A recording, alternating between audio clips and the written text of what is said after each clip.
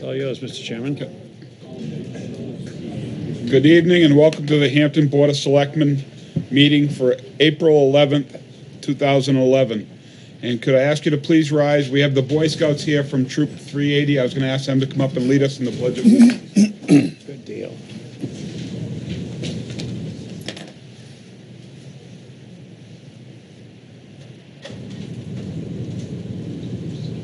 Please join us in the Pledge of Allegiance. Scout salute. I pledge pledge allegiance to the flag of the United States of America and to the republic for which it stands, one nation, under God, indivisible, with liberty and justice for all. Thank you, gentlemen. Thank you.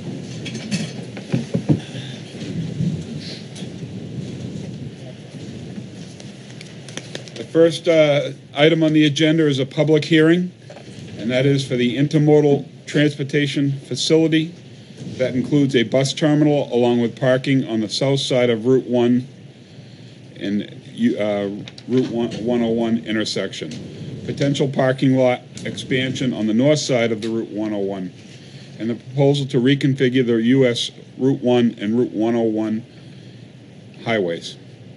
And I guess we have Scott Scott Bogle with Bogle. Rockingham Planning Commission. and uh, just going to give us a highlight of what you gave us a couple uh, Yes, we have an abbreviated presentation for you tonight. Um, I'm Scott Bogle. This is Gene McCarthy with McFarland Johnson uh, Engineers, uh, who is the lead consultant on the project for RPC. Um, we uh, appreciate the opportunity to, to come back out uh, and um, uh, reiterate the presentation, but listen to feedback from town staff and from the public uh, before the project is wrapped up.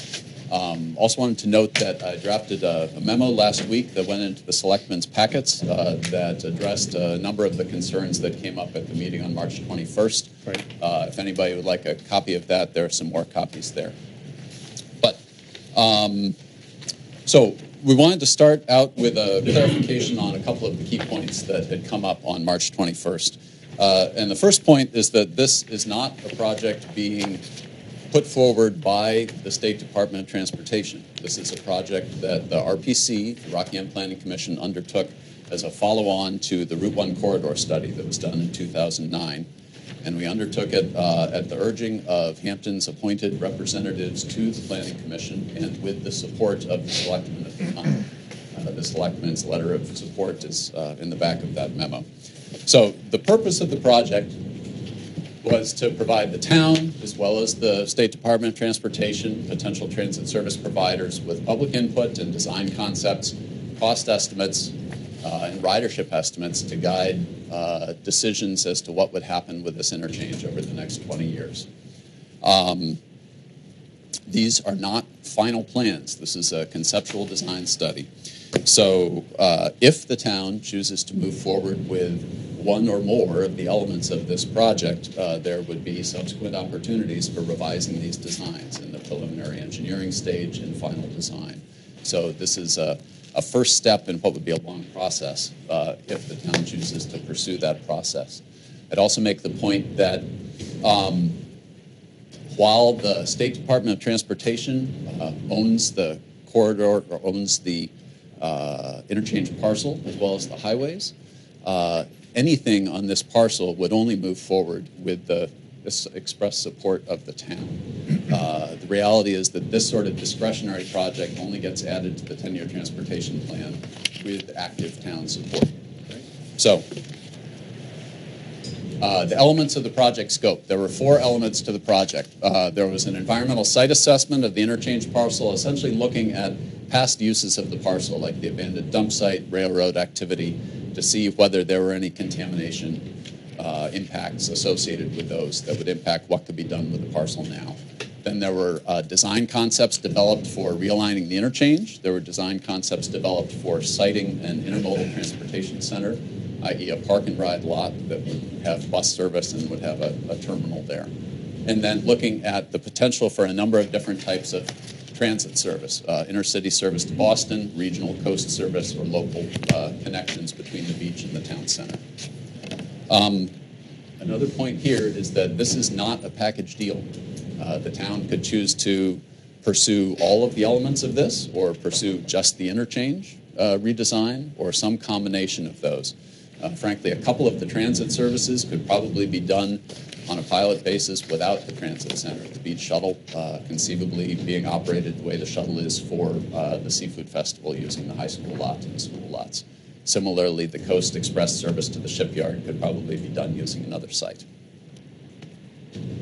So here's our site. Um, Gene will talk more about the, the site layout and, and uh, issues, uh, but you have 101 running from uh, northwest to southeast here, and then Route 1 coming down from the town center and continuing to Seabrook in the lower left. So there was uh, a good deal of public input that was gathered as part of the project. There were two well-publicized public meetings uh, that were held for this, uh, one in March 2013, um, where essentially it was a listening session to get public feedback on what their desires were for the site. A level of interest in a transit center, level of interest in transit service, level of interest in seeing something done with the interchange. Uh, a second public meeting was held in October 2013 uh, to present the design concepts and to get some feedback to determine uh, a preferred alternative. There was also a project advisory committee that met four times during the project process um, that included four representatives from the town, uh, the town manager, the then town planner, uh, then public works director. Both of those positions have turned over now, as well as a, a member of the planning board. Let me uh, just briefly summarize the transit feasibility element of this, and then I will turn it over to uh, Gene to talk about uh, the engineering design concepts.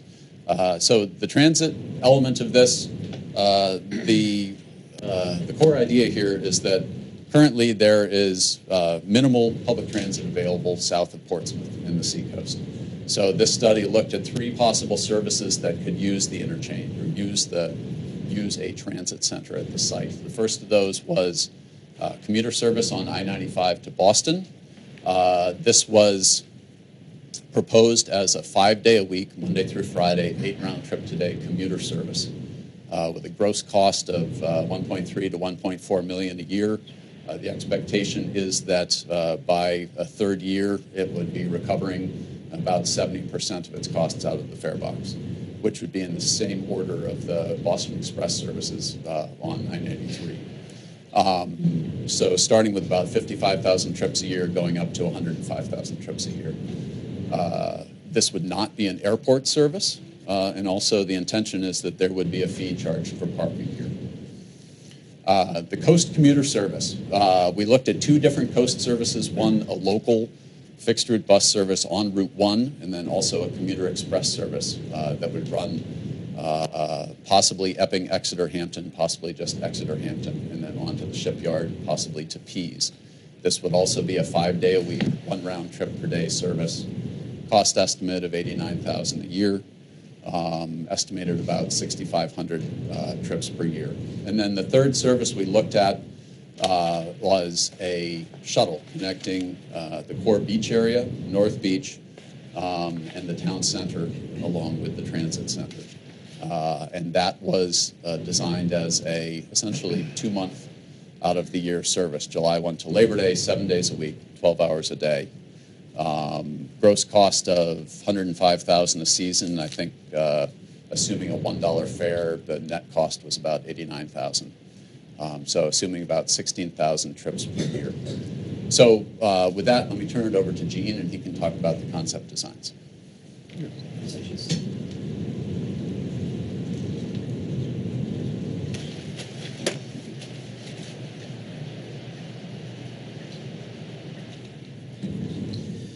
Okay, so talk about this existing interchange. Obviously, you, you know it as well as anyone. It's a it's a very kind of a convoluted mix of you know through corridors, uh, ramps, intersections, and there's a lot of deficiencies at this interchange when you look at it from a highway design perspective, from weaving to uh, short you know uh, distances between different decision points. Uh, we also have a lot of sight distance issues for people trying to merge. Uh, so we look, we took a look at this whole intersection and said, okay, uh, how can we address some of these deficiencies without essentially blowing up the whole interchange? Some of the f- previous studies had looked at completely changing everything about this area. So we looked at it and said, hey, what can we do with what's out there with the existing infrastructure to bring a little bit more control, efficiencies, like I said, without blowing it up? So we took look look at all this infrastructure that's out there today.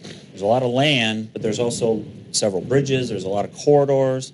But how could we utilize it without and, and bring some control? So we developed three different alternatives, and I'll go through these fairly quickly. But uh, the first one is alternative A. Alternative A essentially takes the existing southbound barrel of Route 1 and creates Route 1. So instead of having south and north on separate barrels, we put it all on the existing southbound, utilizing those two existing lanes. The north, the current northbound barrel would become really a connector that brings you to a new interchange for the connection to Route 101. And then at either end, we put an intersection. We're showing these as roundabouts in this graphic. They could be traffic signals. But what this does is it creates two independent corridors that have a single purpose. One corridor is Route 1, the other corridor is access to 101. And by doing this, we get a lot of efficiency and we eliminate a lot of those weaves and all these decision points that people currently have to make. It's much cleaner. You decide at the roundabout where you want to go, and you have a corridor that takes you there. Uh, so this ends up being the preferred alternative. Uh, the other two that we looked at did similar things, but the B and C actually takes 101 and puts it on the northbound. And what it did is it still left most of the one traffic and the traffic for Route 101 on that corridor and used the southbound corridor more for local traffic. Um, what this did, though, however, is it put more uh, demand on the corridor for Route 1 and that those two intersections that you see with the 101 interchange, uh, those needed roundabouts or signals, and they started at, at sort of the future design year starting to show reaching their capacity. So then alternative B really is just, or C I should say, is alternative B, but we had to expand that those two roundabouts and that required that we rebuild that bridge. So this one had the highest cost. We then looked at several different uh, concepts for the uh, transit center. So looking at the existing real estate that's between the two barrels.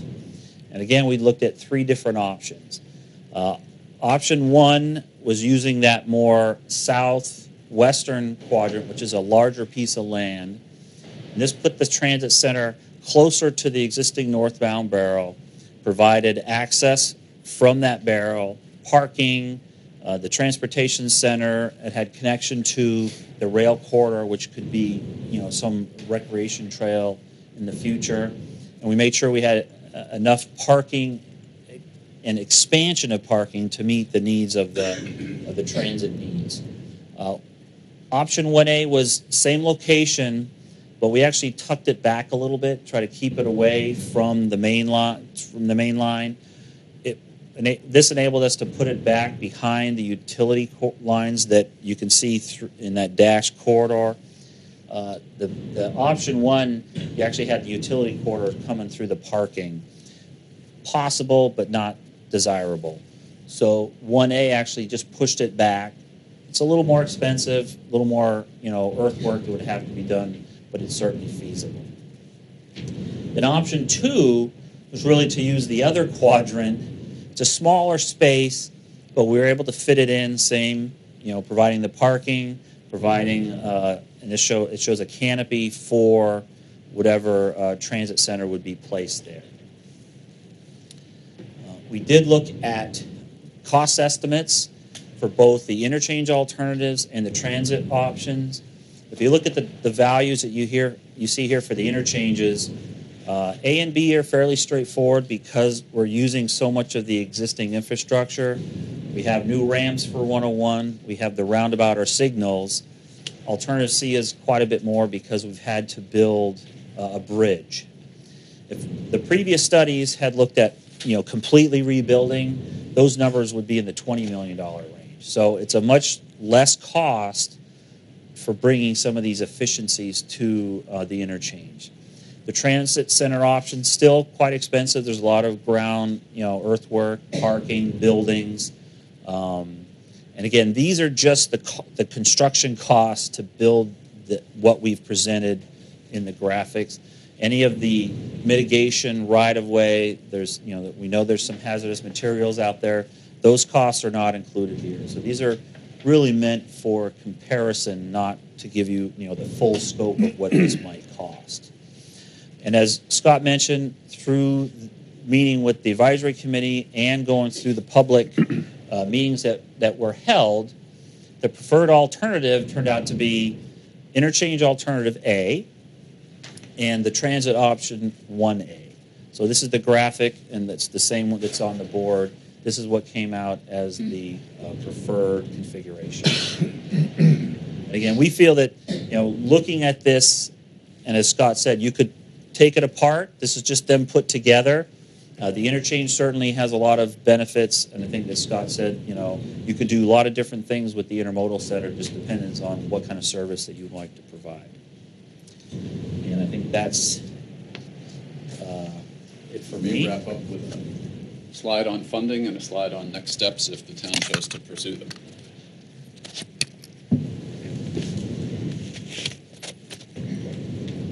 So, uh, if the town wants to pursue one or more elements of this, uh, these are uh, some of the likely sources of funding uh, for each of those elements. And you're looking probably at different funding sources for the different elements.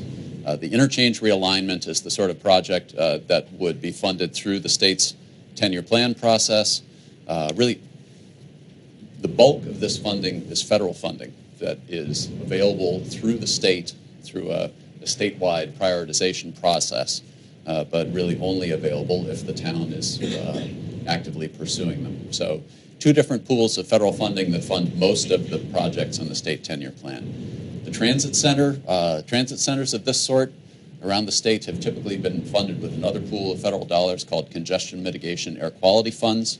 Uh, those require a non federal match, but uh, for transit centers around the state, the state has been using uh, a source of match uh, turnpike toll credits. So that's not uh, local town dollars that would be involved there. Some potential for federal funds through the Economic Development Administration, uh, and then parking fees would also fund a portion of uh, at least ongoing costs in the transit center, if not um, capital costs up front. Transit services, uh, all of those, fare box would certainly be a significant portion of the service. Uh, CMAQ, again, would be used likely for the Boston commuter service. Uh, the Coast Shipyard Service, those pilots coming down from Rochester and Somersworth have used CMAQ dollars along with dollars from the Department of Defense uh, for the shipyard, and we would anticipate a similar funding mix here. Uh, the beach shuttle, uh, we would anticipate would probably be a public private partnership of some sort, uh, potentially uh, involving the beach precinct as well as uh, um, businesses in the beach district. Conceivably, FTA dollars could be used for that if Coast was involved in that service, but that could also be provided by a private contractor. So, lastly, um, if the town is interested to pursue some element of this, these are some of the key steps. Really, the, the next step would be updating the listing on RPC's uh, long range transportation plan. We're working on that this spring and summer. Uh, and then submitting the project uh, next uh, winter for DOT's 10 year transportation plan. Um, and then seeing that uh, whatever elements of it you want to pursue are included in other plans. The, the transportation element of the beach master plan. CEDS is the comprehensive economic development strategy for uh, southeastern New Hampshire, um, which is the key to those economic development administration funds. Uh, regarding the park and ride, I think you want to monitor planning for park and ride capacity that's happening, particularly further south in Newburyport. Um, if there is significant ex- expansion of capacity at Newburyport, that would to some degree reduce market demand for uh, a facility here. So I think that's something we would want to track. Um, potentially assessing other sites for the transit center. I know there have been suggestions in the last few weeks about, well, could this go out by the highway? um, and then refining beach shuttle proposals, refining commuter proposals. The CMAQ funds really would not make sense to pursue CMAQ funds for the transit center until you have piece built. And so the CMAQ funds have a shorter turnaround. So a decision on the transit center could be put off for a number of years. Sort of the critical path, if you want to pursue the interchange, would be to move forward with the 10-year plan in the coming year. But uh, with that, just to uh, sum up, so this is a, a feasibility study. Um, it's an early stage in the design process. These are concepts that can be refined uh, as the town sees fit. Uh, final decision whether to go forward with this rests with the town. I think there are some good opportunities here to um, to fix a frankly substandard intersection that has safety issues, uh, as well as expand transit service uh, in the area, potentially improve uh, connection between the town center and the beach, getting more beach visitors coming into downtown to patronize businesses in the downtown. Um, but the decision is up to the town as to whether or not you want to pursue it. So thank you very much. Happy Thank to you. answer questions. Thank you. Nope. You want, No, I think it- we want to hear the want to citizens. go up to the public now? All right, so we will go out to the public. When you come up and speak, please come up and use the microphone up here and, and, and tell us your name and, uh, do you need address? No, not really. Just, just your name so we can clearly hear it, so that we can, uh, get it in the record. Just, go ahead.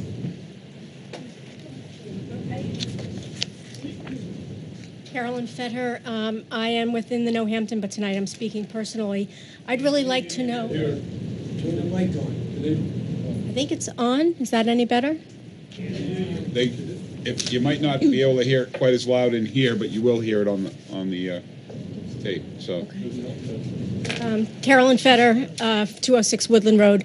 I'd really like to know if there is a financial flow from any of these projects, who benefits from it, who is going to be responsible for the upkeep, the maintenance, the infrastructure demands that are going to happen over a period of time.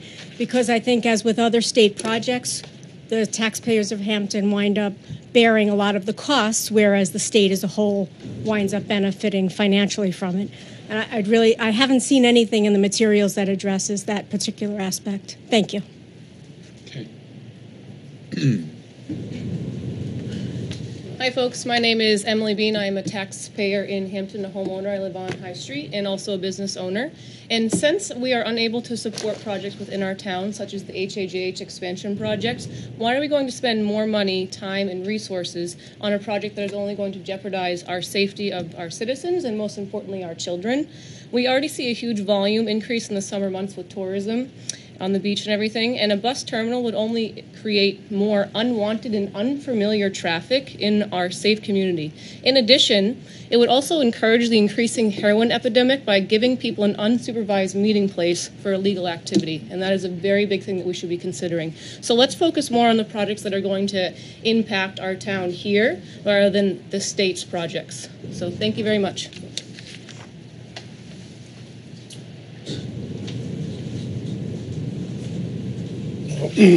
Charlie Preston, 47 Glade Path.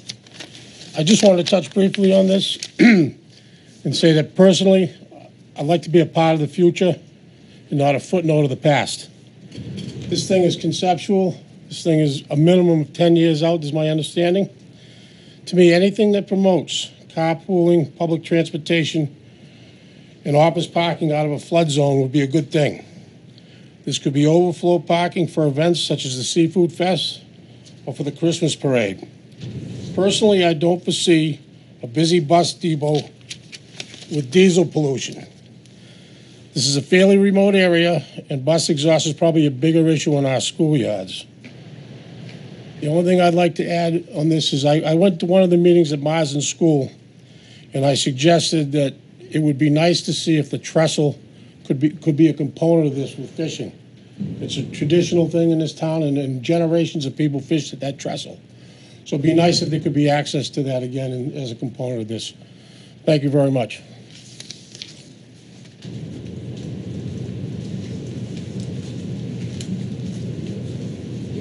Ann Kaiser, 7 Palmer Street, Hampton.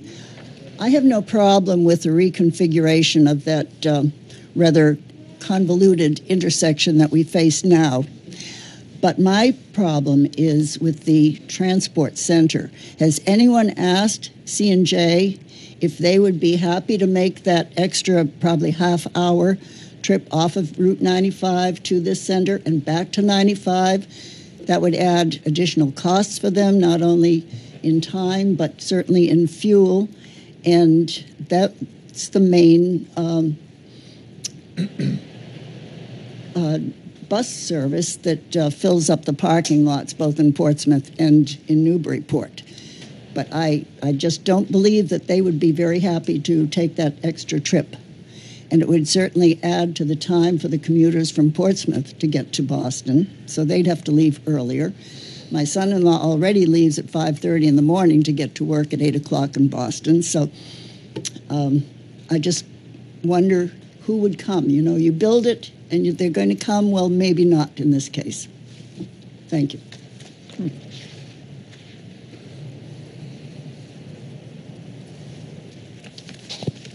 My name's Gordon Player. I live at 35 Arcadia Avenue. I appreciate the work that you guys have done, but it smacks to the federal government all over it. And we know what they've done in the last seven and a half years. This is a suburban community. If I, myself personally, if I wanted to ride a bus or a subway, I would have moved to Brookline. That's simple. I live up on North Beach. There's nothing but families, little kids, and that sort of thing. You want to play? You go down south around the bend. They got everything you can think of. But where we are, it's quiet, it's peaceful. There are no buses zooming up and down. Every person I see on North Beach, I know or I've seen before. I don't know about this bus service up there, guy. I really don't. Doesn't make me happy at all. It's clean. It's nice. Don't have a lot of cops running around up there. Don't need them. You want to change that? No, sir. I don't agree.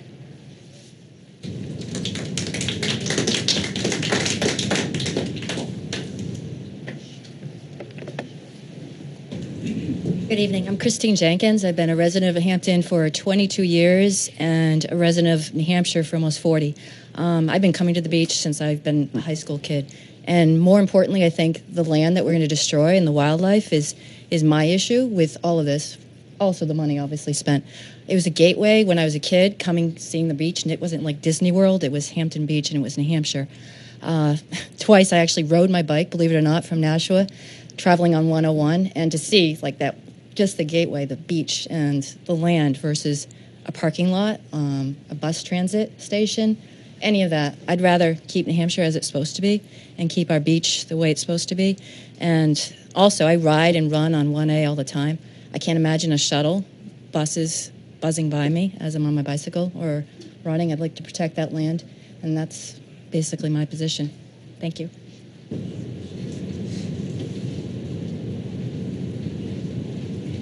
Hi, my name is Samantha Bean. I live in Hampton. I'm a mother. I love Hampton because it's a small town. One of your selling points was that you would bring more of Hampton Beach visitors to our town.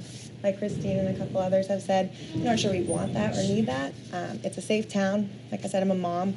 My children are able to play, ride their bikes. Um, I'd like to spare all of us the bus fumes, the extra traffic, the safety issues. Uh, my cousin Emily mentioned the issues. I really see it as a problem for safety. It's not monitored, that parking lot. I see children meeting there for things we so much do not want them to meet there for. We have drug issues at the beach already. I just see this bringing a lot of problems to Hampton. I'm happy for Newburyport. I'm happy for Portsmouth that we could help their overflow. But what is it going to do for Hampton? And I don't think it's going to do much. But thank you for your hard work.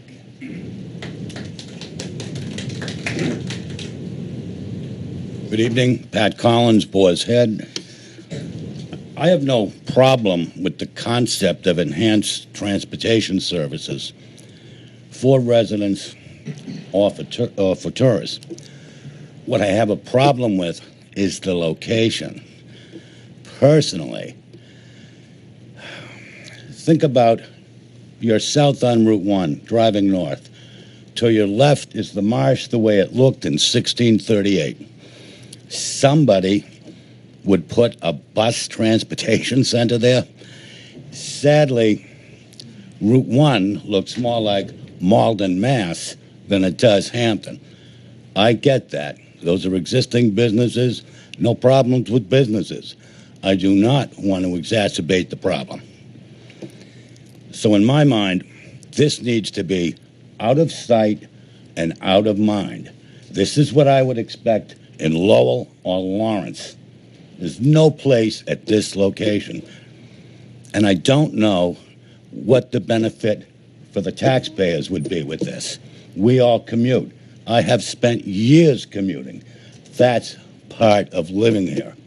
I don't live in Manhattan anymore. I live in Hampton for a reason. Those are my feelings. Let me leave it there.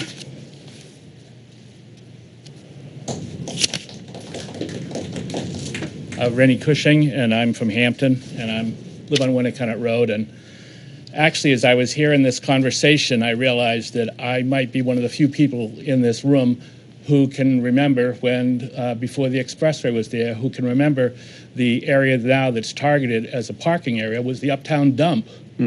and my concern when this proposal first came forward is that is there any residual stuff at the dump, the uptown dump, that might have an adverse impact upon it? And uh, I'm also remember um, when I grew up, when we used to have trains in town, you could get the Budd Liner that would go to Boston to North Station, and when there when there used to be buses, we didn't just have one bus line. Both Trailways and Greyhound stopped right up in Morelli Square, and you could buy a bus ticket at Colts, and you could get in and out of the city, which was good because my grandmother, she couldn't drive. She never drove her whole life, and sometimes she wanted to have access to this. Um, I think that this is a really great concept, and I have a, a number of concerns. I, I'm not wedded to this. I like the idea of it, but I know that in terms of you know what is going to be keep Hampton a, a livable town and what's going to continue to make it attractive is to have an infrastructure that's going to meet the needs of the 21st century. And part of that is public transportation. I mean, I, I have kids um, that are, you know, they maybe think differently about what their vision of the future is and how they want to be interconnected. My concern for this, I would like, I know how important it is that if we go forward to this, that it has the town's support. Um, and as far as costs go, I do know that there's funds available. There would be funds available through the 10 year highway plan that would be in part federal funds and perhaps a state match. But those are the entities that have the ability to capture revenue because it comes primarily through the, through the use of the gasoline tax, of the, of the road tax. And I think that what we, as we have people who live in town who prepare, who you know pay into that federal tax, that we'd be wise to try to take some of it, to capture some of that money back and put it to use for our own infrastructure here in town. Um, and I think I, you know, my grandparents came to Hampton in 1920 from Manchester uh, on their honeymoon, and they stayed. And my route to to live in Uptown comes through the beach. And I tend to see the beach not as a detriment. I, I, see it as part of the crown jewel. I see it as part of the economic engine of this town. And I think it's really important that this, is, this holds a great potential to help support the existing bus- businesses at the beach, to make it more convenient for people to come to the playground of the Merrimack Valley, if you will, to come to Hampton Beach, to lay on the sand, to buy a couple hot dogs, and to enjoy life. Um, and I think that helps support our local community and our infrastructure. I would hope that the um, I would hope that the town would take a really good hard look at this and support it and go forward with it. Thank you.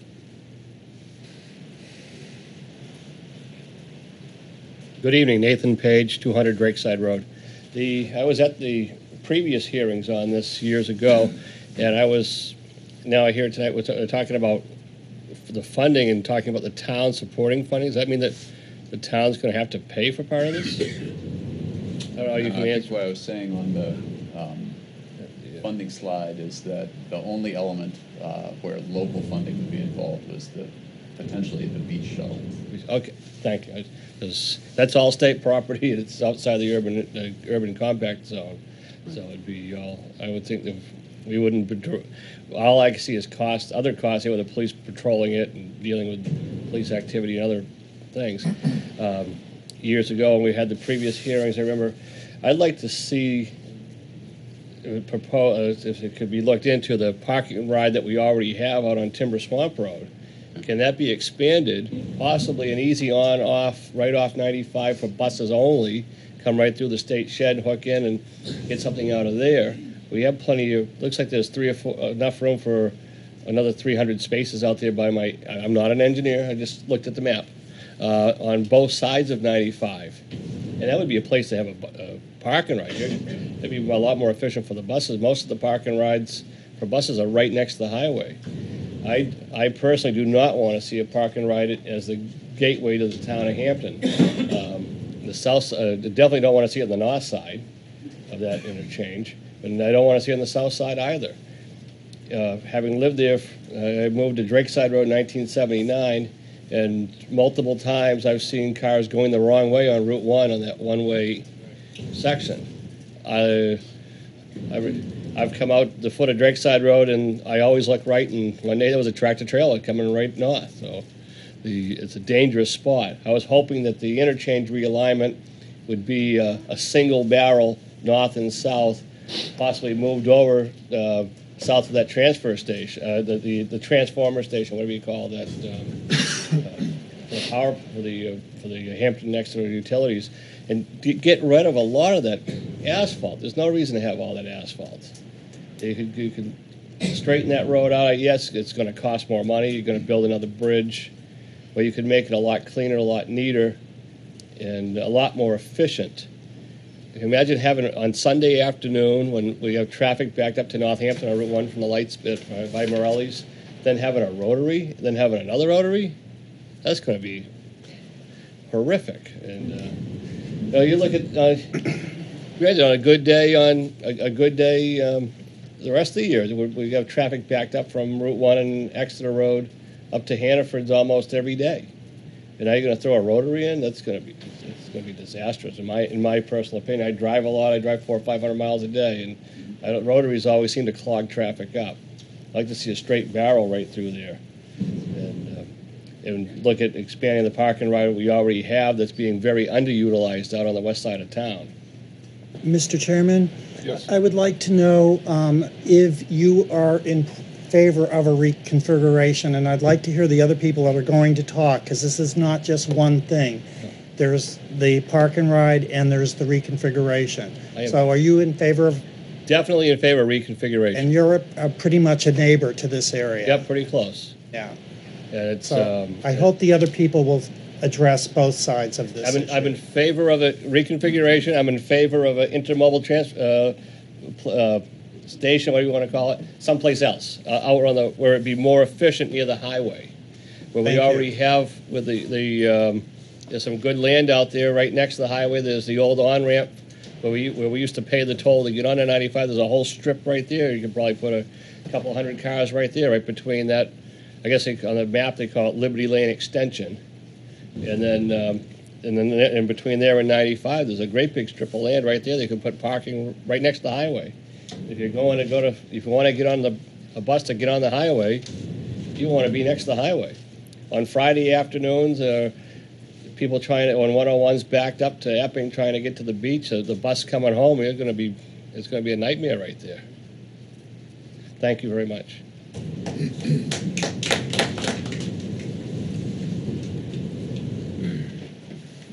I am, uh, my name's Tim O'Connor. I live at 19 Park, and I am intimate with uh, Route 1. I own 573 feet that borders Route 1, which is only 27 feet less than two football fields. So, right where you have the, uh, the I guess it's the, the northerly rotor, rotor, rotary, uh, that's my house. That's the greenhouse. It's a beautiful house. We've lived there four years, and we're kind of used to the traffic. But I can tell you, it's dangerous. Sitting on my deck watching the traffic come through is like a reality show.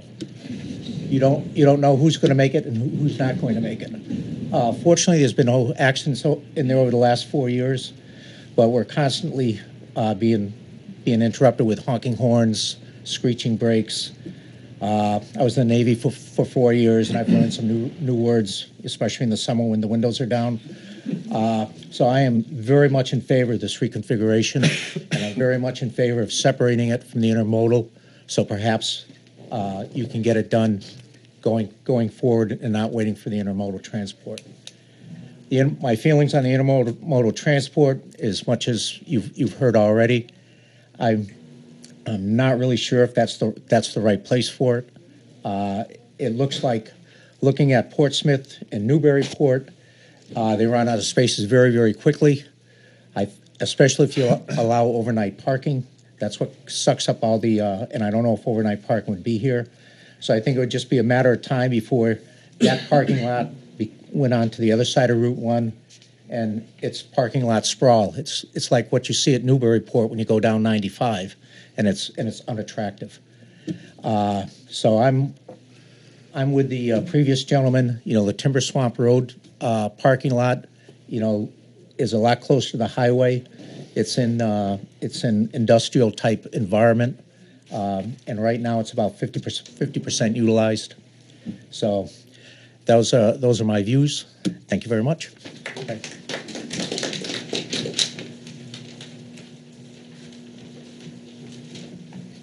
Good evening. Uh, my name is Stephen Genados. I'm resident of Park Avenue, across the street from Tim. Um, first off, I'd like to say I'm very encouraged, certainly, uh, Stephen Genados of Park Avenue. Uh, I'm encouraged that these two separate but distinct plans can be decoupled, as I think they should. Uh, I'm very much in favor of a reconfiguration of Route 1 for all the uh, reasons that Tim listed out. It's an absolute dragway. It's a nightmare to get onto Route 1 in the morning, regardless of the season. School year, out of school, doesn't make a difference. Does, does not make a difference. Concerning the transit center, um, I, I, I echo the thoughts that a lot of the fellow townspeople have mentioned this evening, and I couldn't be uh, I couldn't be against it more. Uh, incremental traffic volumes, the unknown environmental impact, public safety, public resources for servicing concerns. Um, we've heard that there are other viable locations that exist already that are underutilized and available. Um, and really, overall, these are questionable benefits to the community as a whole. Um, you know, uh, a, giant parking lot as the entrance to Hampton as you're coming in from the south. I don't think that's the image that we want to project to anyone. I'm proud of our community in the Marsh area. It's a beautiful area as it stands right now. So, can't support that part of the plan. Thank you.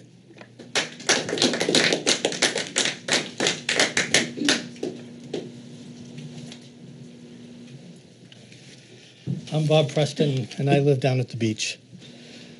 It seems very clear tonight that everybody want, thinks the intermodal should be out uh, on the west side of town. That seems to make, make sense if we're going to listen to home rule, and if we're going to think about the econ- economy of, of bringing buses off the highway and back on. So that is probably the best way to go forward. But I'm here to ask you to support the concept of this idea, and I and, and I have two thoughts. I've, I've spoke before.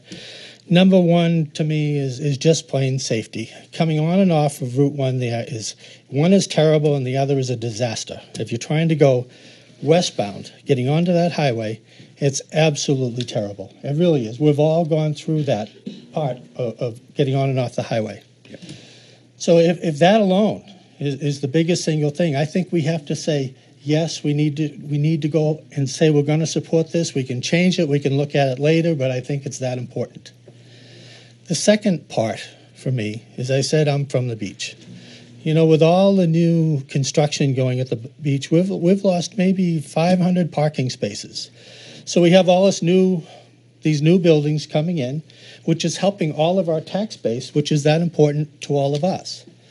So if that was a spot 10 years from now that we could say we could have 200 parking spaces for kids that work at the beach or people that stay in hotels at the beach that could be commuted uptown or back and forth, I, I think that is a great plus. So I think it's certainly worth our consideration. You know, it is a long time from now. I mean, 10 years. My hair will be the same color as theirs. We have plenty of time to, to work on this. So I'm going to ask you to support it. Thank you. I do.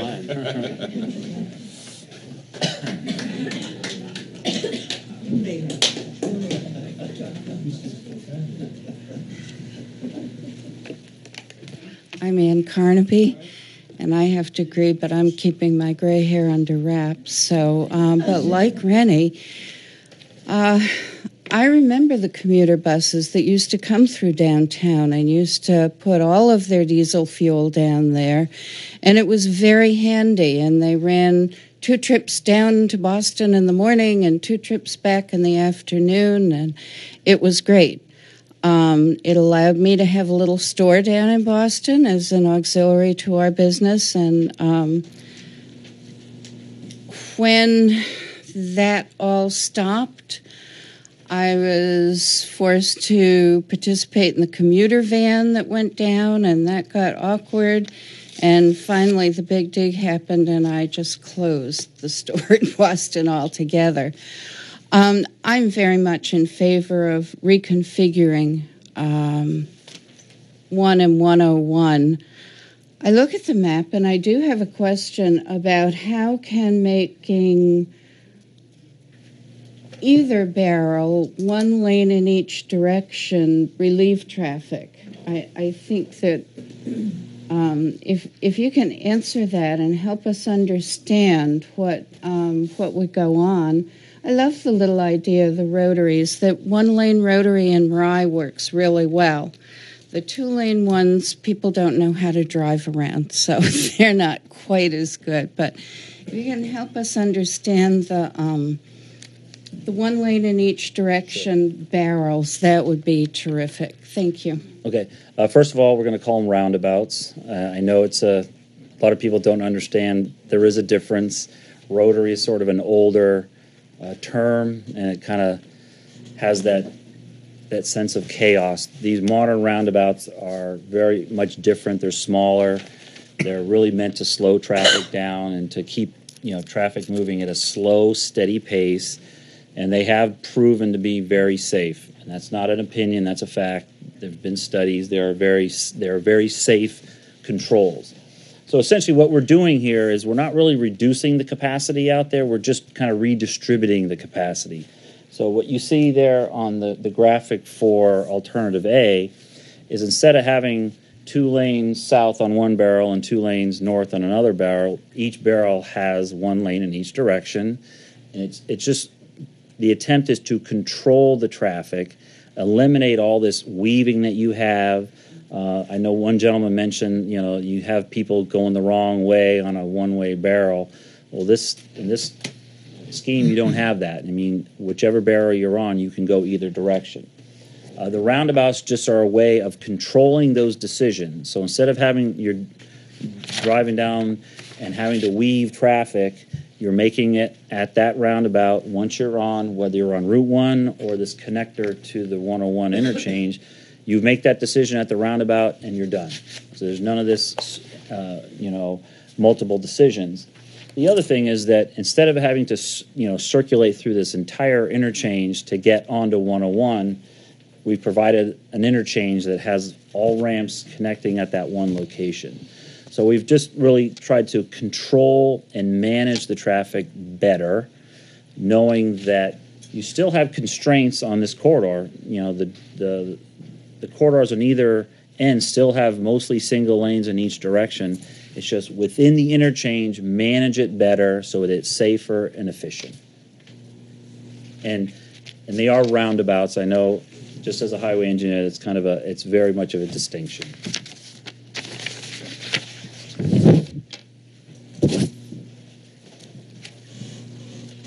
I'm Ann Russell, and I live right there, in the middle of it.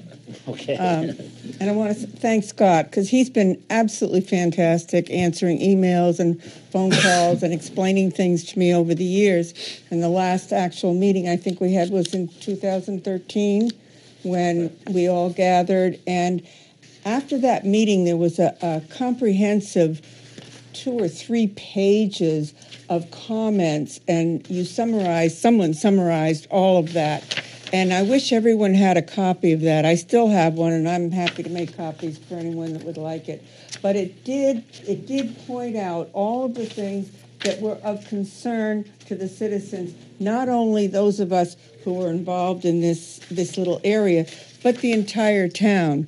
So that's something we might want to re revisit um, is just to get that list out of, and maybe you can help me with that.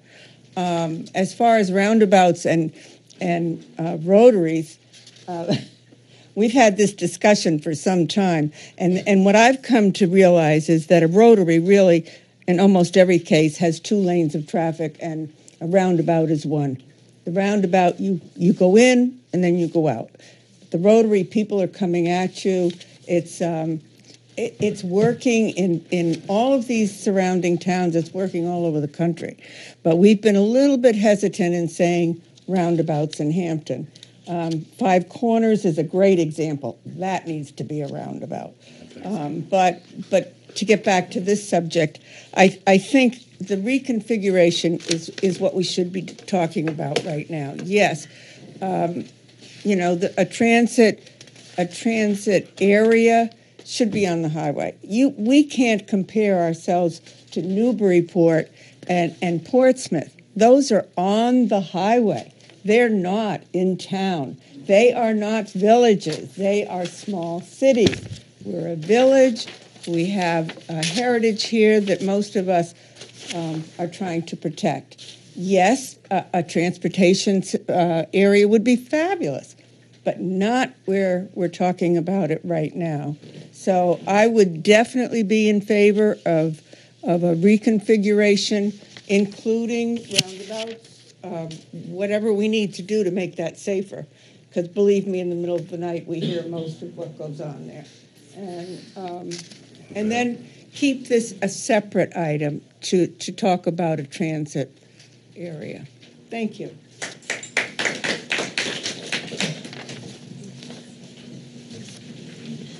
Fred Rice, 15 Heather Lane. Uh, I've been following this process, I think, pretty much since uh, Rockingham Planning Commission started it. And um, I, I, would like to remind everybody that everybody that comes up here has their own concept of what they think might be the result of all of this. And it's a natural thing to do. But I think we have to have to remember that the people that are developing these plans are they're professionals. They look at this all over the country. They study it. It's their life's work.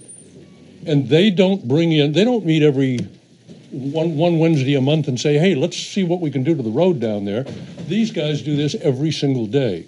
And I think we have to respect the opinions and the, the designs and everything else that they bring. And to say that, well, this isn't going to work, I, I don't think they would put it into the plan if they knew it wasn't going to work. That's why they do what they do. That's why we hire them. That's why they exist for the benefit of the county overall. So I just just like to put that little uh, thing out there that, that I think we do need to pay a lot of attention to these people because they do know what they're doing. They hear an awful lot of input at every one of these hearings, and they consider it. And as uh, Ann just said, they um, th- they do uh, make allowances for all of the input. They try to balance it out.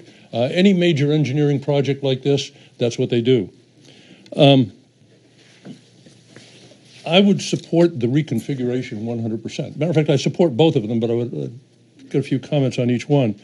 Um, that thing, by the way, was an open burning dump. And I remember the open burning dump. I remember two lanes of, of, um, of railroad going up and down that place. Uh, every Saturday, you could see the big black cloud of smoke because they would go down and pour gasoline over the edge of all of that, light it on fire, and the dump would burn. And that was how they kept it from getting too, too big. And uh, it smelled like hell. It was a terrible smell. There was no road down to the beach, so it was only Lafayette Road. Went right up, right past it, and you had the little turnoff down there, and you'd go down there and you'd have open, open dump trucks taking it down, not the big roll-offs that we have right now. That was a terrible area down there, and when you see the overgrowth in there, you see that nature heals a lot of this stuff, and uh, thank God, or it'd be a terrible place to, to be right now. But we can't, we can't keep pretending that Hampton is not going to grow. I can remember this town at 2,000 people, and now we've got 16,000. And I can remember when there were a tenth as many houses as there are right now. I can remember when, when Mill Road was a was a there weren't uh, six houses on the whole length of Mill Road from uh, from Ann's Lane up to Watson's Lane. You know, it was a totally different place. It was a rural agricultural community. There were a dozen working farms in the town back then, and so it grows. And when it grows, more people move in. You build more houses. You get more cars. You've got to be able to handle those cars.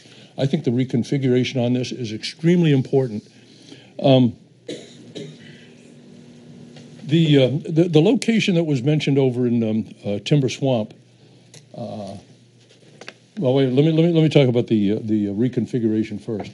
I, th- I think that anything that will manage the traffic better is good. I mean, th- there's a lot of hindsight into whether this should have been done this way or not, and I think the engineers have done a tremendous job trying to use as much as they can of the existing uh, infrastructure that's there.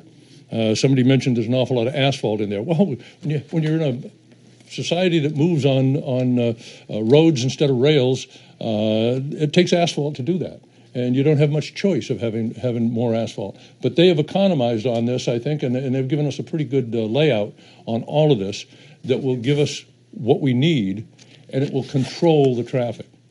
For those who are concerned about exhaust and other things, remember the days of the burning dump, and remember right now, go up in the middle of Hampton, go down on the middle of Ocean Boulevard on an August afternoon, and guess how much pollution is going into the air right there? The traffic is sitting there, dead stop for a long period of time. Oh, gee, it's piled all the way back up to uh, uh, to Route One. Well, I grew up on Route One, and I want to tell you that that, that traffic piled up all the way to the Northampton line every single day, all summer long, every year until I 95 was built. Every single day. And about 90% of the cars were still black at that time.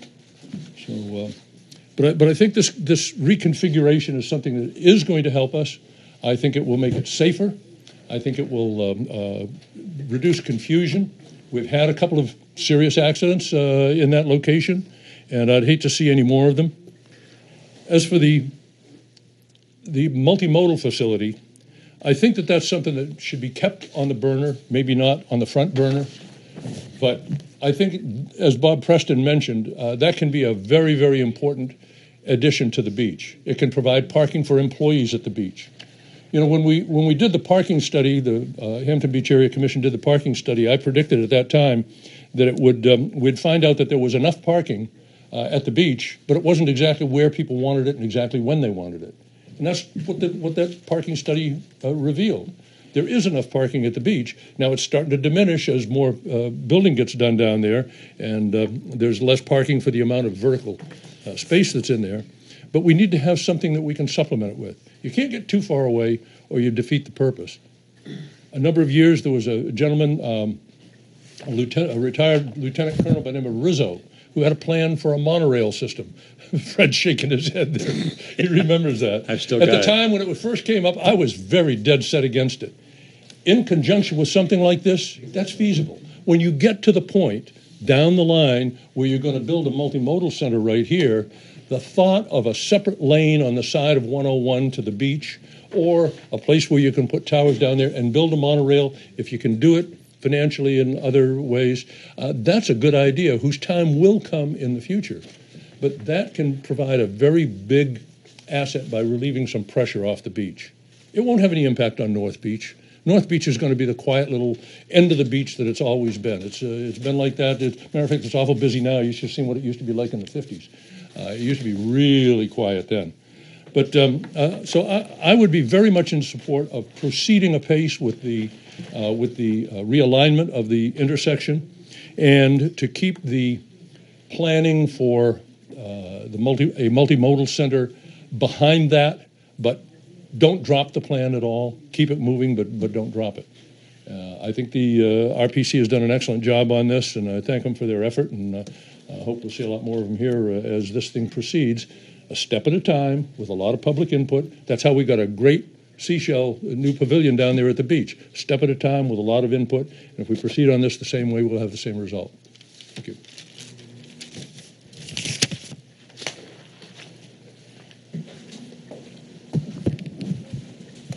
Mike Edgar, uh, Seven Anns Terrace. I, I'm in favor of the uh, looking at the interchange and making it a lot better than it is. One comment I want to make: I, I hope that they're looking at the bridges that that uh, are involved over here. It's uh, especially thinking about what the condition they're going to be in ten years from now. Look at them now, and uh, also you know also the capacity of them. If you're going to be widening them, if we, we're going to need more lanes, uh, just going back and forth to the beach. So, thank you.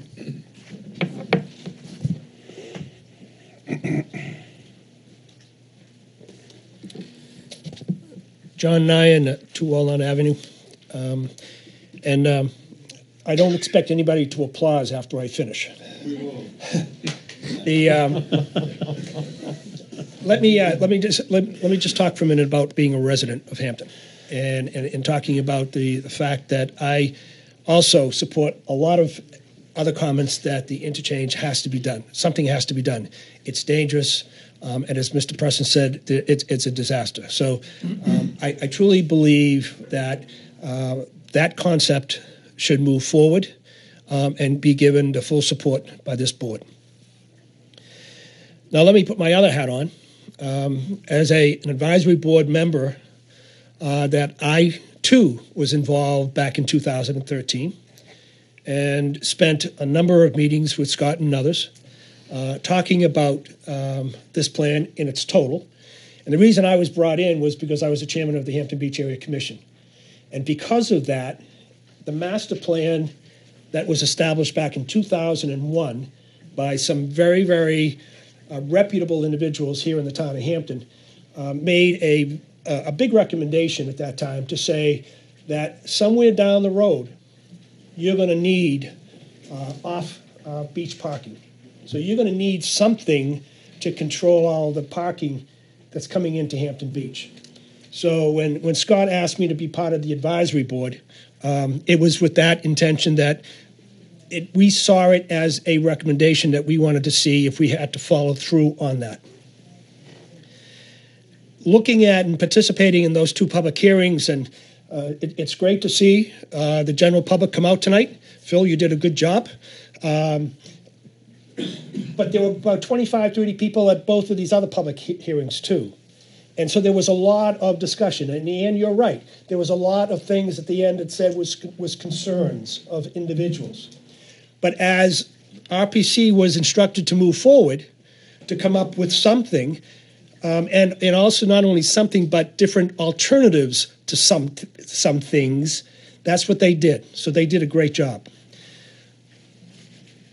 Let me suggest something here. You know, everybody's talking about um, the intermodal.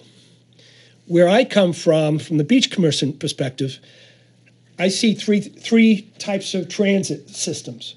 One is the uh, Portsmouth, the Boston route, the CNJ, or whatever we want to talk about. That's one piece.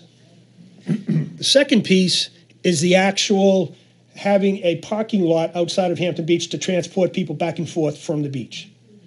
And then the third, which I know that some folks have pros and cons about, but I've talked to a lot of businesses here in town that would be interested in looking at some type of transportation system, a, uh, a trolley system or something, to get people from the beach to downtown so that they can enjoy the restaurants. They could go to Morelli's, or if people from Ham, uh, downtown Hampton area that wants to go down to the beach but doesn't want to pay twenty dollars to park, they can take public transportation down, similar to what they've done at the seafood festival. So I, gue- I guess what I'm saying is that we're 10 years away, probably even further than 10 years away from having any type of reality on this project. So what I would ask the, the, the board is to move forward with the support of the concept in general. Uh, I think everybody would be in favor of the interchange redesign. And then if somehow the wording could be uh, put to, uh, whether or not it's through Fred or through legal, that we all agree that there's got to be some type of uh, transit system established. It might not include all three transit services because what I've heard is that people don't want these buses coming in and off the highway. Well, if, if you do away with that piece of the service and just have transportation services from that location to the beach and back, and then possibly kind of that transportation around the town to get people from the beach to the town and the town to the beach, then that might be a, an alternative. But please keep in mind, uh, being familiar with the way the 10 year plan is working, um, we're so far out in terms of planning, and I think Scott will tell you that there's so many things that, that could be changed between now and the time that funding would come, and so many good ideas can still be developed that I think what we have to show is at least the town is in support of these types of services being moved forward. Thank you. Mr. Chairman, as an abutter, may I s- stand to uh, speak briefly? Step down from the board, thank you. Uh, I've heard comment that uh, 10 years is uh, forever. I graduated from Winnacunnet High School with uh, Mr. Janaitis' brother in 1975. Uh, 10 years is yesterday. Uh, I've heard comment tonight that Hampton is growing. If you look at the census, uh, 2000 census in Hampton mirrors pretty much 2015. There may be more condos. Uh, It's a flat population. Uh, I speak uh, this evening as an abutter.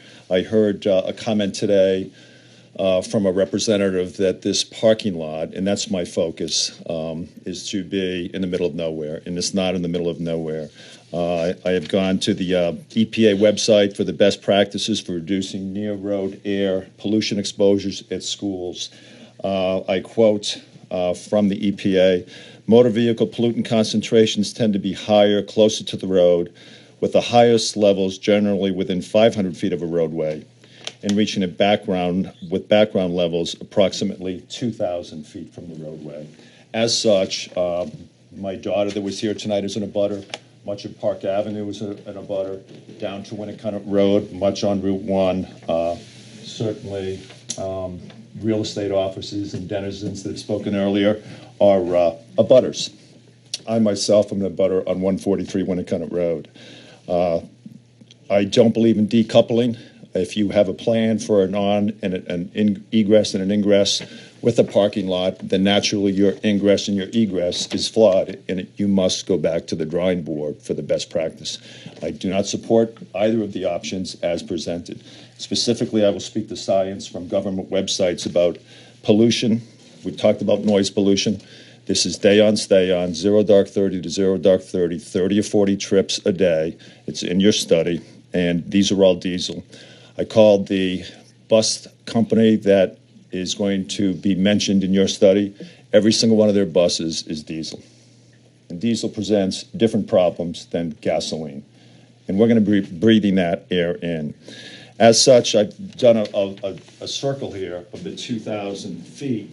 Uh, and many of you, and many of us, uh, many of those that are this small, and then 10 years from now, if this were to go forward, we'll be sucking in diesel, diesel particles.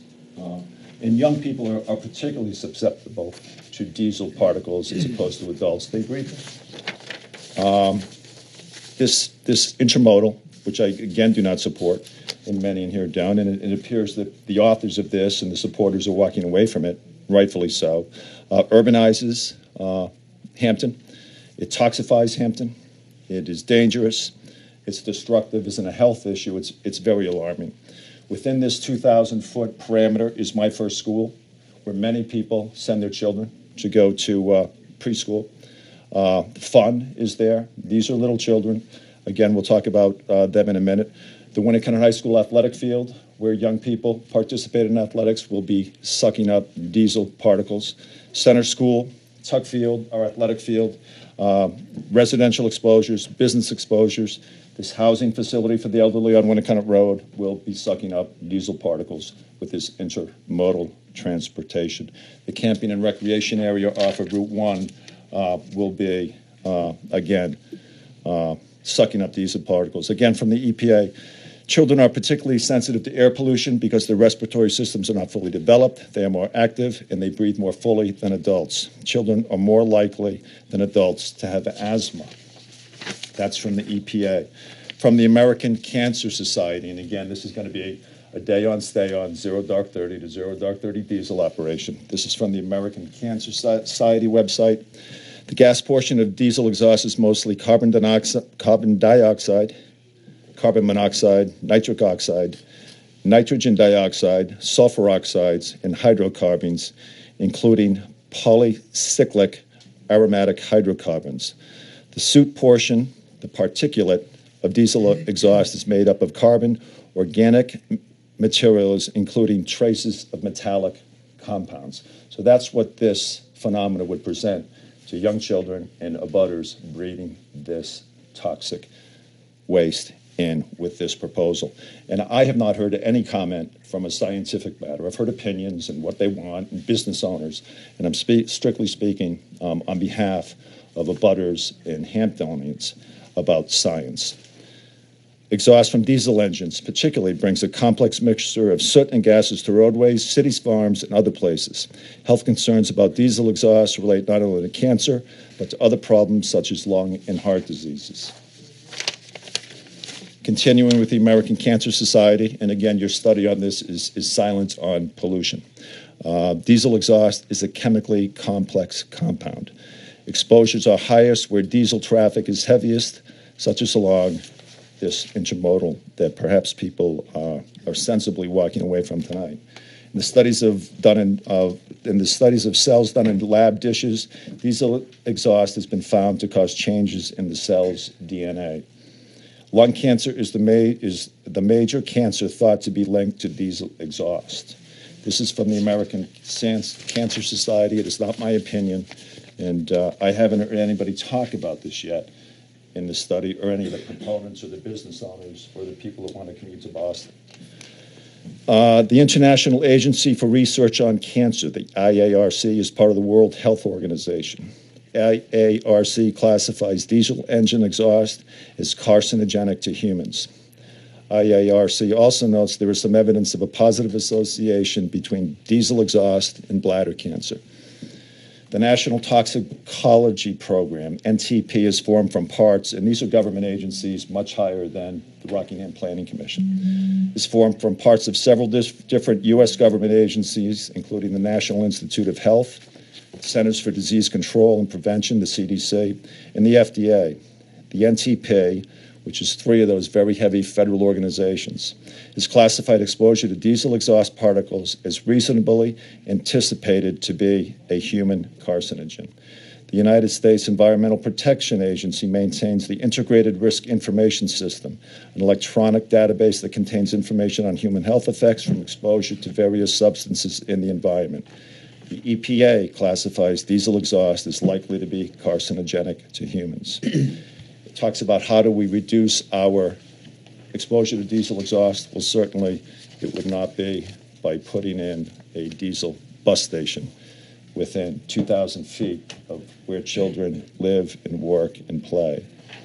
Uh, those are the government agencies that do not think it's a very good idea for your health really not good for your medical record, as they say. Um, I could uh, bore everybody with the biological data um, from medical journals, and I will forward that with uh, citizen signature, Mr. Chairman, uh, to be part of the written record. But it is it is frightening information, frightening health information that we would expose this community and our children to if we were to put in a bus station where you folks had planned one. So I would summarize and say I speak not as a member of the board. I, my position was made clear a couple of weeks ago on that. I have visited the other uh, intermodals on Newburyport, and they have rightly been said and stated to be on 95. Uh, they don't belong here. This needs to be not walked back, but terminated. I don't support, as an abutter, a plan that would have something as important as ingress and egress onto a major road that has been balanced around a parking lot that is no longer going to be there. Mr. Chairman, thank you for your time. Is there anybody else from the public that wants to speak? If everybody's speaking for a first time, oh, I got Mr. Zuna.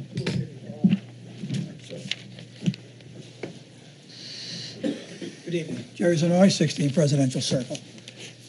Uh, a few things have crossed my mind um, when I was here a month ago or so. I think parking limitations are a big issue here. I mean, when I go to to catch an airplane in Boston, I park in Newburyport. My car stays there two, three, four days. If that's the uh, routine, this parking um, capacity of 450, 450 uh, spaces will be quickly eaten up by people staying, people going for multi-days trips to their businesses or whatever. Uh, I think we're very limited in that area in terms of parking. I like the idea of a 95 location better because it's off and off the highway. This comes right through our town. Um, I think we got a major issue with currently getting onto 101 from people coming from the north to the south and going up on that ramp. There's 20 accidents a year from what I read in the literature. And even if you come off of Route 101 to get on Route 1, you're running into a danger. Your left eye has to be looking over here on the left all the time, so you're get clobbered. I think two big safety problems is this right today, which we should be addressing. Getting off and on Route 101. Uh, now, with this configuration, alternate, can I can you bring that alternate uh, back up on the screen? Yeah. Okay, if I'm heading from north to south, where is that roundabout? Can you stand up there for a second, please? Okay, the roundabout is there. Now, what, what decisions do I have to make at that time? Where are you heading? Let's say You I'm, to 101? let's say I want to go to 101, yeah, You would go through here, come here. yes. Then depending on which direction of 101, you'd either go here to head west, Okay. or you come down here, make a left, and go east. But but is there any lights there or anything to control that? Because, I mean, in the summer days, the traffic is backed up halfway to Exeter. Yeah, except, I'm not sure if people can hear me. Again, that was the whole point of this, is that w- when you're coming down here now, Yes. if you want to go to 101, Yeah. you're staying on this barrel and going all the way around. Okay, yeah, In this case, you'd come down, you'd Yeah. make your decision at the roundabout. Yeah. If you're going, if you want to continue on Route One, you just stay this barrel. Okay. If you want to go to 101, you go around and, okay. onto this barrel, Down, and then you decide just take this right turn to go west, come down here, make a left turn to go east. And our analysis, there's no inner, there's no signals here. The, that that just a stop control will be that sufficient. point right there, is that an overpass or something? That's- Yeah, this is the same. This is the same under overpass that's there today. That this barrel stays under, 101 stays over. We've just added the ramps. Four Where, where's ramps that there. ramp again that takes me to east? You'd come down here, Yeah. and that, you go to this intersection, make a left, and you'd head to the beach. I see. So instead of going all the way around and back around to come to this ramp, you come right down here. That wasn't entirely clear to me when I read that map and looked at it and blew it up even on the screen. Um, so you you you go over the over there's an overpass there and swing around on a side spur, so to speak. Over over the underpass. You go Oh, under and then take a left. under. And on the other side, that if I would decide to go Route One, it's straight down. Yeah, you just you just go through the roundabout. Yeah. Go and th- you'd be in the same b- place that you are today. Yeah. Just you'd be in a single lane going down. Yeah. This ramp would not be there. Yeah. This ramp would be closed. Yeah. And you just go down to the next roundabout and go through. Okay, that explains it to me anyway. Yeah, I, uh, I was just very apprehensive about that configuration and the traffic we might, you know, be confronted with. But again, I, I, I'm not absolutely sure about that configuration. I would prefer to see it on 95, a major highway, on and off. And the parking limitations are, to me, real, especially if people go away to business for two, three, or four days, they leave their cars behind. Did you people have in mind uh, a maximum amount of stay per parking space, so to speak? Well, what's proposed here is not airport service. What's proposed here is daily commuter service on mean, weekdays. you're not going to go like C and J down. If I want to catch a C and J and go down to Logan, What's proposed is, is not Logan service, no. wh- what is it? It's a, a daily commuter bus service to downtown Boston. Oh, downtown Boston. For commuting to downtown I Boston. thought, because I mean, people are either going to the airport or South Station. That's certainly a, you know, a major source of the folks that park at Portsmouth or at Newburyport, yeah. Um, that, uh, you know, probably over half of the cars at either of those facilities are people who are, uh, there for multi-day trips. Um, but what was, what was proposed here was a, was not a an airport service. I guess theoretically, somebody, if this was built, could take the bus to South Station and then take a train somewhere from there. But um, Wasn't built. but uh, it's not built. I for thought it airport was. okay, thank you. Let's- Yeah, go ahead.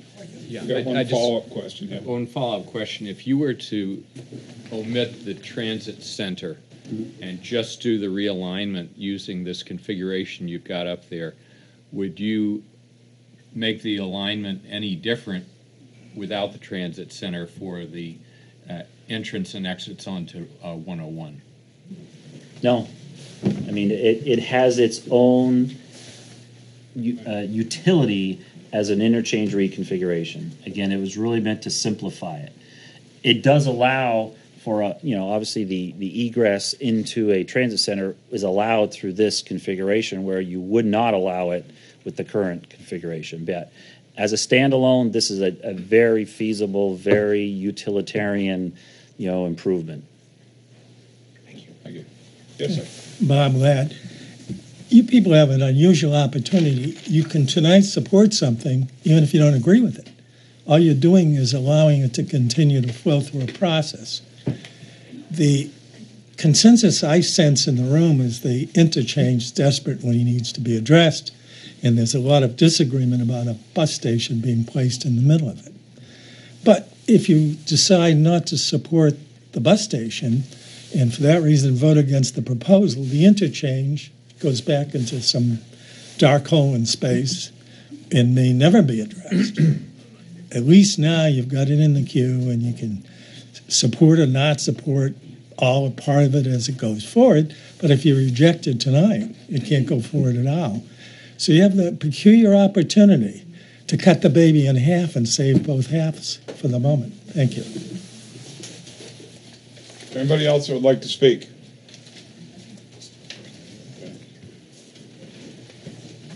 How you doing? Brian Fox from Esco Road.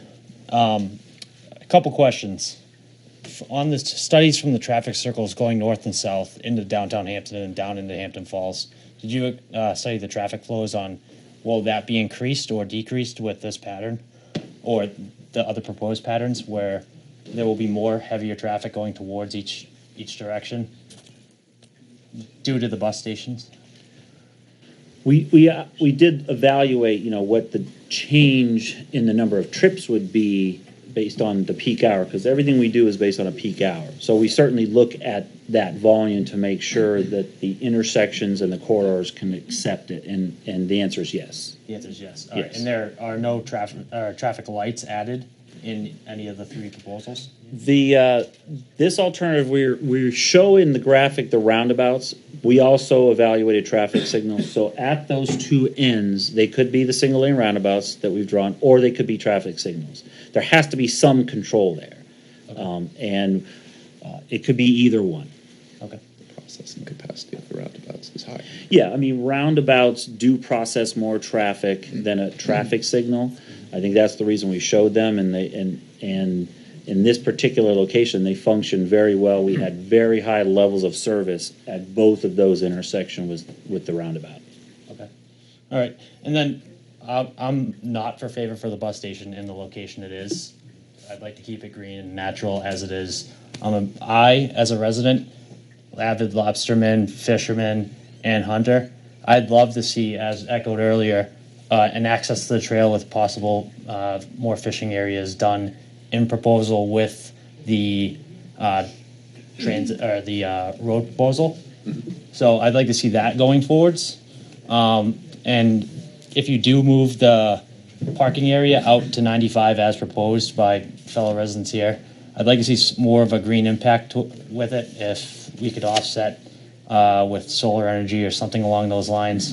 And then also, did you guys take into consideration uh, with transportation evolving over the next 10 years and then self-driving cars charging stations etc mm-hmm. i know that is going to be a huge i'm 30 years old i see it coming i've read the articles i know the math behind it have you taken that into consideration for the parking areas in this proposal as, it- as it sits now looking at self-driving vehicles and and and really parking wasn't- and et cetera and, and flow. Does that make? Do you guys consider really- that right now? As part of this, we, we did not Okay. look at self-driving vehicles. We are just beginning to look at self-driving vehicles as part of the update to our regional long-range transportation plan. Um, that's something that uh, even the you know the larger cities in the country are really just beginning to look at in their long-range transportation planning. But it's something that you know um, has come up in in public meetings that we've done and, and we need to address in that long-range plan. Okay. Uh, was not considered here. Uh, we didn't specifically address plug-in stations uh, for this facility, but I, I want to say that there may be plug-in stations at, at one of the I-93 parking rides. I mean, that's the Right. sort of detail that could easily be added, Added further later on, down yep. the road in a design process. Okay. Um, so in in that, I would just like to see that be added to the estimates up front to make sure that we have the cap- that capability. Does that make sense? Um, and then I'd like to see the this redrawn with just uh, less of an environmental impact. And I think having two routes splitting Route One doesn't really make a whole lot of sense. So the less impact we can have on that area, the better. Does that make sense? Well, the. I understand it's part keeping the- Part of the idea of using the roads here was that in that 2009 um, Route 1 corridor study, there were a couple of concepts presented that put a, a single, uh, single unified lane through there with that kind of diamond interchange coming up off of Route 1. The problem is that uh, that involved a lot of taking of, of land in order to fit that in. Uh, and had a cost in the neighborhood of 20 to 24 million dollars as opposed to using the existing asphalt, uh, the existing lanes that were there, uh, which brought the cost down more into the neighborhood of, of uh, four to five million dollars. Okay. Um, in terms of the the habitat value in there, certainly anytime you would change uh, an area that's woodland to an area that's developed, you're going to have some habitat impacts.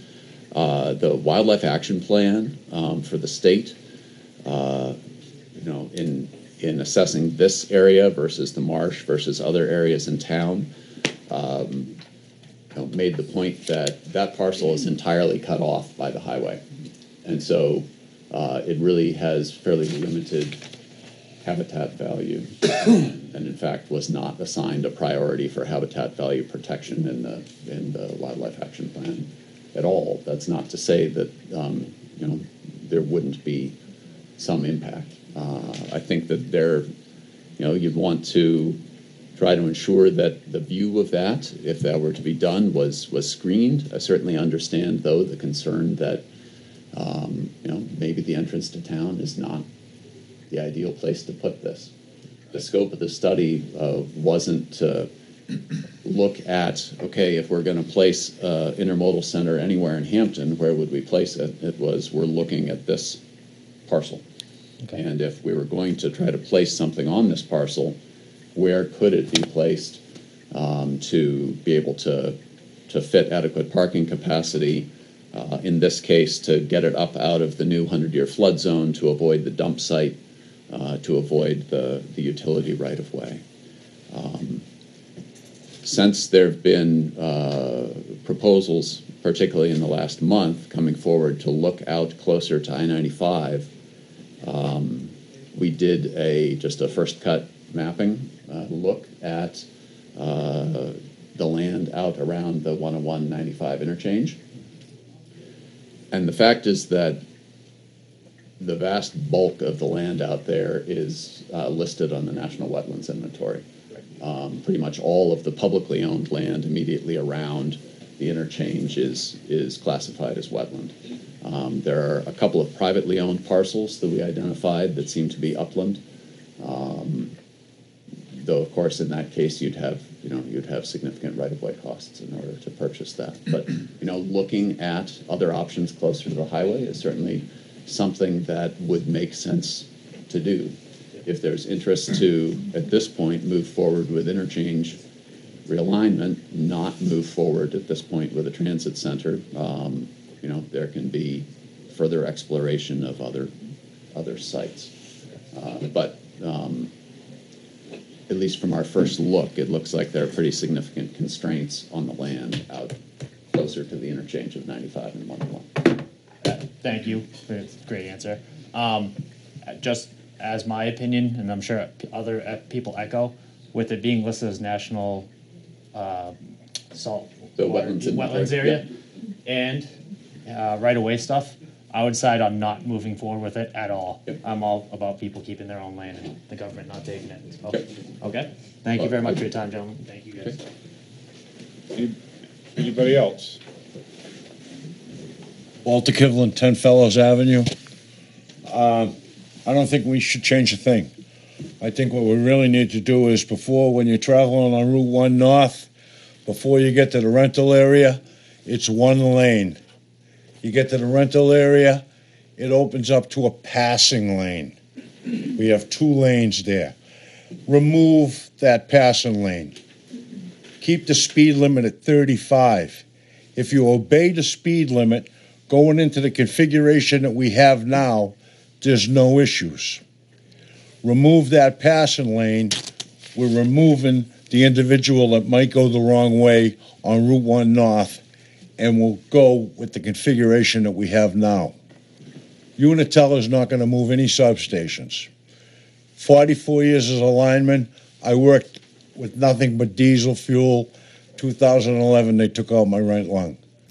All right, everything Selectman Beans said is correct about the diesel fuel. Trucks are only supposed to run for five minutes, buses are only five minutes. Get on the beach, go uptown, any diesel truck unloading, they're all running. Federal law, five minutes off. None of them do it. Leave it alone. Leave it alone. We don't need roundabouts. We don't need rotaries. They cause road rage. We need people to go the proper speed limits. Anybody else? Hi, Barbara Renault, um, Conservation Commission. I'm not going to give an opinion or a position because we don't have one yet.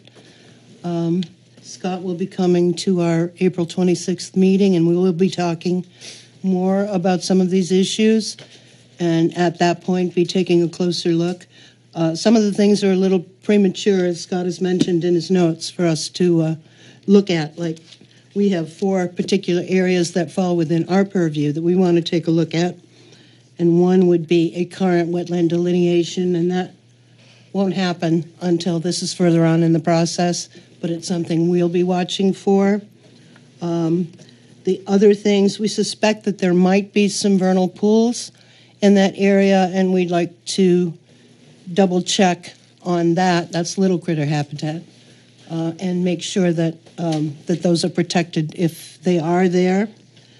Uh, Some of the property, as Scott just mentioned, is in the FEMA flood zone area.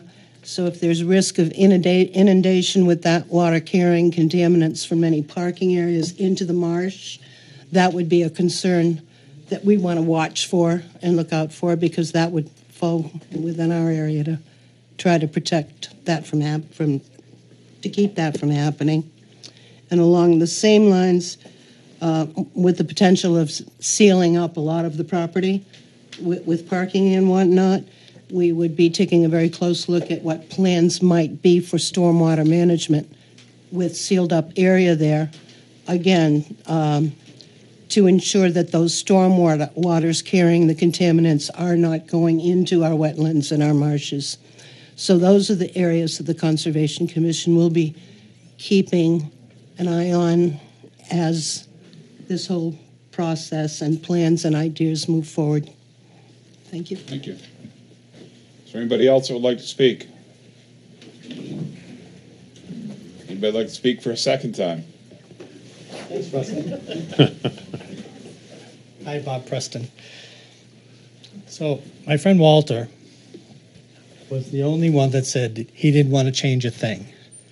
But pretty much everybody else in the room has agreed that, that those on and off ramps are dangerous. And if there's a way for those on and off ramps on that 101 to go away, I think that you all need to consider that.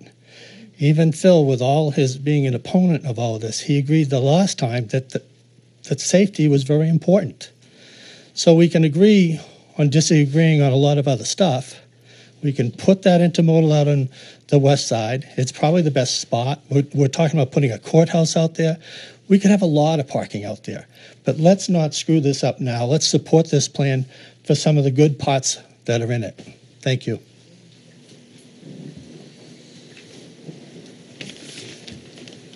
Nathan Page for a second time here. First, we, the one thing, I, most important thing I forgot last time I spoke was thank you guys for coming out and putting up with us all tonight and taking a beating like you have.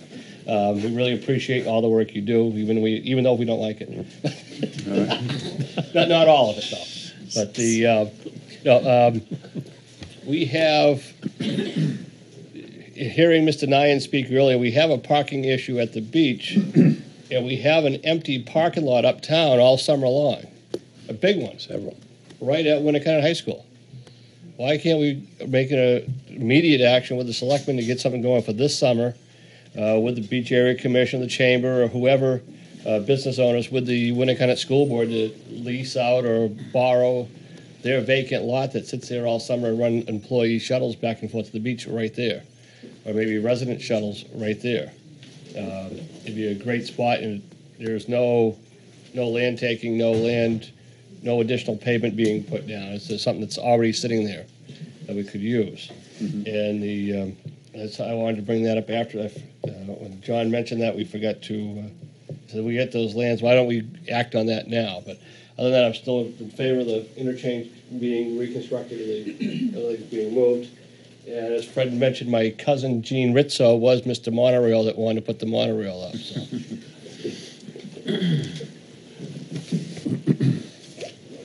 Fred Rice for the second time. Um, I, I think you're going to draw your own conclusions from the comments you've heard here, here tonight. What I hear is that there's a great consensus that we should move ahead with something concerning the realignment of these roads. That that's a good thing. That it will help manage the traffic that's there. It won't increase or decrease it in and of itself, but it will help manage it so that it will flow better. The other side of it, uh, any type of multimodal station parking, whatever, uh, I think you've got a, a- an across the board. I think most people do not agree that that should go forward right away. I think it should be kept on the back burner. Um, Selectman Bean brought up a, a very good point about the about pollution associated with this, um, and and in that regard, I hope that you will keep in mind he brought out how dangerous this c- can be. If you subscribe to what he said, then I think you need to keep a couple things in mind. One is think about the school buses that sit in the schoolyard with their engines running, even if it's only supposed to be five minutes, it isn't, with the exhaust about this high off the ground, and the kids that walk by it about this high off the ground, too. That's one place where we can do something to cut down on that type of pollution. Another one is if you're talking about kids and the effect on them, look at all the people go in and out of Morelli's store. And for years and years and years, for, for the last 60, 70, 80 years, we've had cars stopped there with their engines running, waiting for the light, north and south, all the time. That's another area. Um, we, we need to watch out there. Look at down at Hampton Beach on Ocean Boulevard. We've got thousands of cars every single day walking in close proximity, not a couple thousand, within a couple thousand feet. This is within five feet of a couple thousand people walking up and down, and that is the same type of problem. So if you're going to consider these things as important, and I hope you will, I think that the the board as a whole should try and address these in some way where you can alleviate those sources of pollution that are pretty significant in our town already.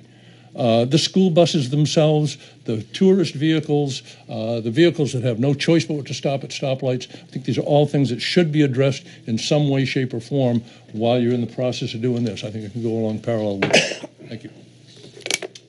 Is there anybody else from the public who wants to speak? I will bring it back to the board and allow them a chance to speak. Gina? I, I think that we should um, definitely consider the, the alignment for uh, 101 and Route 1. And I'm glad that, I want to say too, that thank you very much for coming. I definitely, I understand a lot more about it now than I did before, and I'm glad that so many people came to the meeting tonight. It's really good to see voice their concerns. And I think that Hampton does need to grow, and I th- I do believe that we should definitely work together as far as making it easier for people to go from the beach back and forth to the town. But like I said, early stages, we should sit, we should review it, take it all in, figure out what the best way it is so that everyone will be happy. Yeah, thanks for everybody for coming. Uh, really, a lot of good comments made, and I think a lot of things we have to take consideration. I think one comment by in the No Hampton, you know, how much is this going to cost if you did put the intermodal in there to the town for extra stuff that they have to add? I think the interchange. I think everybody agrees that that should go forward. It should go forward. I think with with the intermodal thing, I think there's a real disagreement there, and I think we have to look at that. I think what John Nyan said is very important about tying the beach and the uh, downtown together, and I think that can be done in a lot of different ways without paving the uh, parking lot. They're making that a big, huge parking lot, I think, and that can be done with electric vehicles and everything else, shuttles that could make it easy. So I think going ahead is is a good thing. Um, yeah, I guess uh, I don't think I have anything else. I thought I did, and I, you know, I lost it. I thought I was going to be brilliant. Selectman Griffin. I feel the same way. I feel that, you know, thanks for everyone coming out tonight is always important. but this has been going on since 2006 or 2008. And this is what this process is all about. This is the way it's supposed to go. Now we ha- hear people ha- put their input, and the plan is going to be um, uh, tweaked along the way. It's been tweaked since 2006. The town pays these gentlemen um, and the Rockingham County uh, planning to, we, we pay $17,000 a year to get their advice. I think that we need to listen to their advice. I think that we don't know what's going to happen 10 years from now. This isn't a plan that's going to happen tomorrow.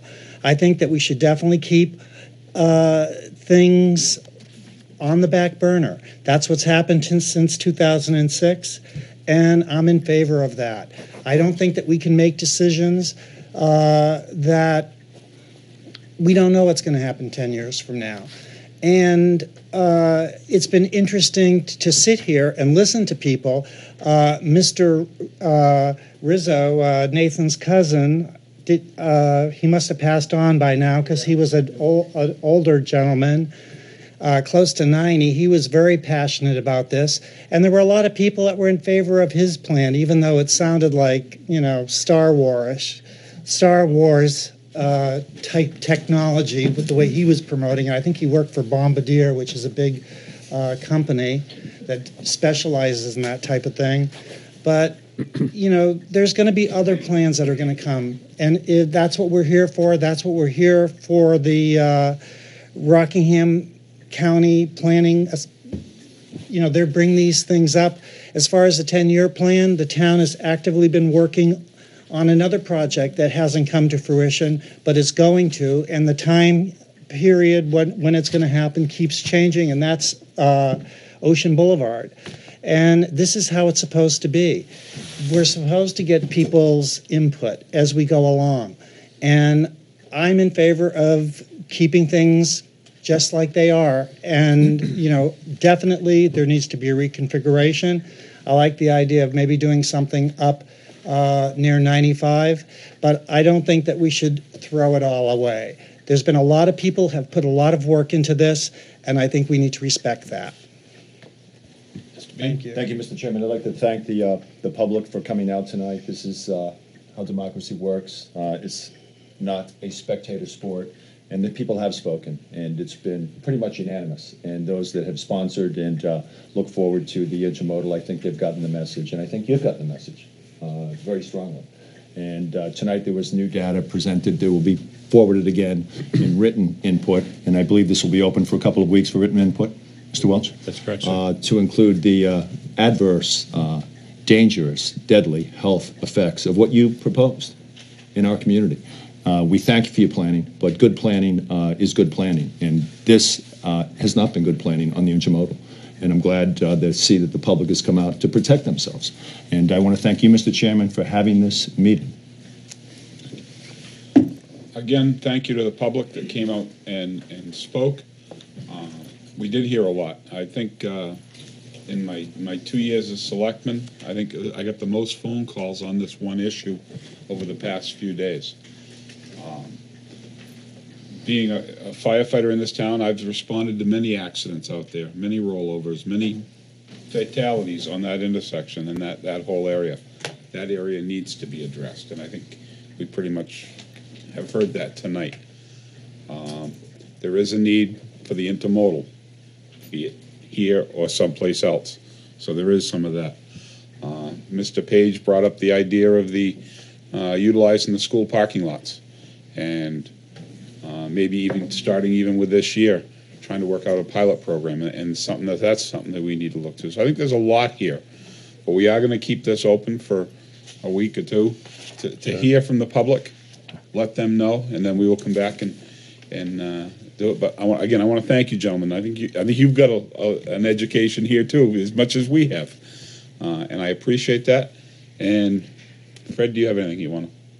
just that uh, people want to put their two cents worth as they say, uh, please send a note to the selectmen. Let them know how you feel. If you couldn't be here this evening, so they have some more input from the people in the community.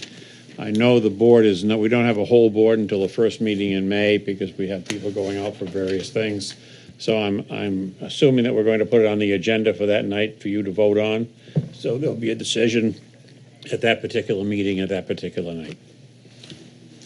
Could we uh, actually respond to a couple of the comments that were Sure, made, go right ahead. that were raised? Well, while we, that's why we're here. We're here to talk about it and the people to give the information. Yeah.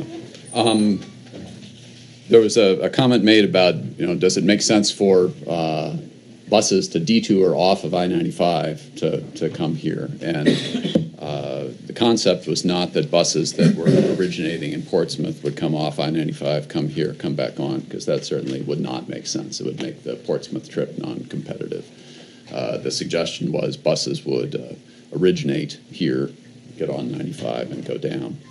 Um, that said, uh, certainly that would be a more attractive service if an intermodal center were closer to I 95 because you have less travel time from this site out to 95. Uh, I think that uh, a transit center at 95, uh, if there was a suitable site, um, would probably lose probably wouldn't make sense to run a beach shuttle from 95 out um, just because of the longer time involved and then longer round trip time. It would just be more costly to keep a reasonable um, lead time or headway on those shuttles. Um, with regard to safety, certainly I, over many years, have been at various bus stations of varying levels of seediness that uh, I would not want my kids at.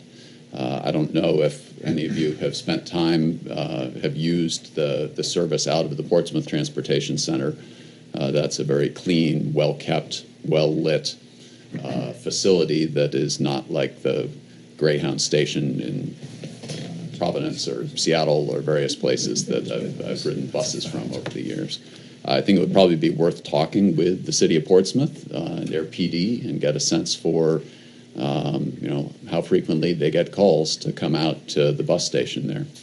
Um, and I, I don't think it's. I think we can answer that question right now. Can you? Yeah, we Great. can. All right. They, uh, they have calls uh, on the average of, let's see, it was 178 calls a year on the average for the police departments at the Portsmouth bus station. Okay, so once every other day or so. Right, about once every second day. Okay. Was that Newburyport or Portsmouth? Uh, Portsmouth and, and Newburyport didn't have, didn't have um, completed figures. They didn't keep good data, so. But they do have, they said they're probably using their police services there and fire services there about as much as Portsmouth is, so. Okay. What sort of calls did they say?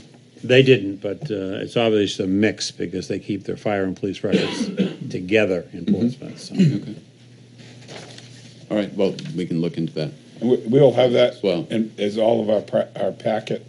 When we put that together, we'll make sure you get that. Yeah. Okay, So that you'll would be have it. useful. Um, With regard to the uh, points about um, diesel exhaust and health effects of diesel exhaust, certainly that's well documented.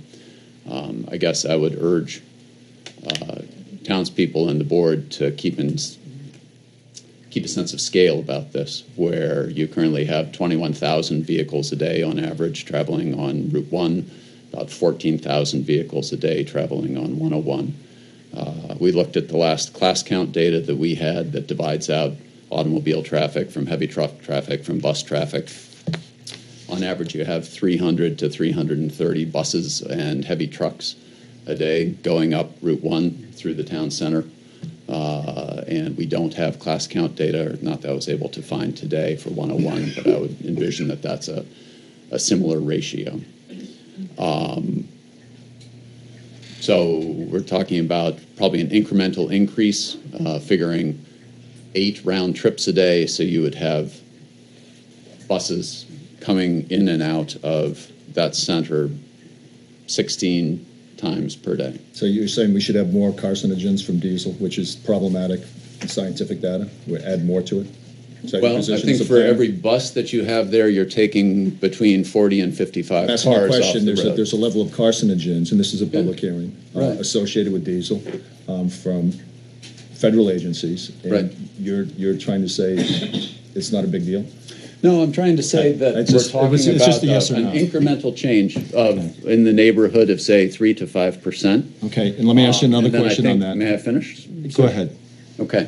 Um, I don't know what the, the number of buses are that Hampton Academy or Hampton Center School or uh, um, or Winnacunnet uh, is using, um, but the point that Fred Welch made about buses idling uh, in a driveway um, immediately next to students waiting to get on those uh, is a, a much larger impact than we would be talking about here. Yeah, now I would just say certainly this. get the point that I would just is say this to incremental you, increase. is that, um, I don't know where you live, I don't, I don't know if a- you, anyone's proposing uh, more carcinogens be built at a, uh, uh, next to your home and your, your children's home and your grandchildren's, like you proposed in my uh, community, Mm-hmm. and me as an abutter, Scott.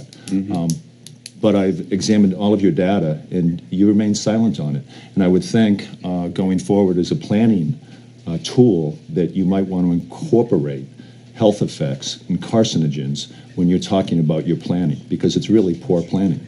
Well, no, that's the sort of thing that would be handled at the stage of preliminary engineering. I want to bring it a up again because your, your, your intermodal's going nowhere. Thank you. All right, is there any, The last comment, in- regards to comparisons to Portsmouth, Mhm. uh, I drive by it twice a day for Yeah. work. No one lives within two thousand feet of that bus station. No one. There's a golf course. There's more. There is a pocket neighborhood back there, but yes, the point's well taken, that it's not in the center of the town. Let's Be careful when we think about this. Yep. Yeah.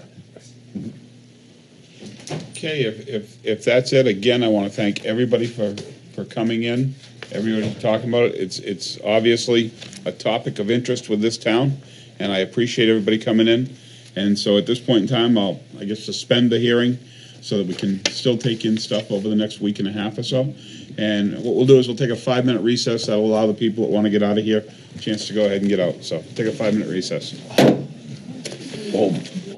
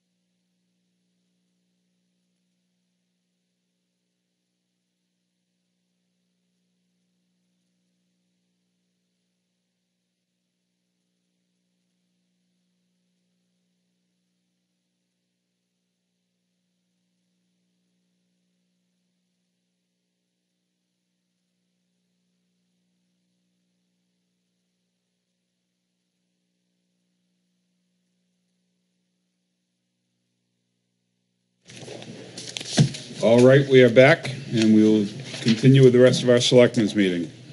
This time we have the public comment period. If there's anybody that wants to have public comment,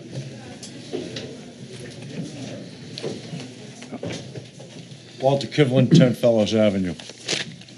Two years ago, Chairman Bridle, members of the board, it's a pleasure to be in front of you. Mr. Town Manager also. State Representative Renny Cushing. Two years ago, Rusty, you come on the board, you made the best suggestion that we have heard in years.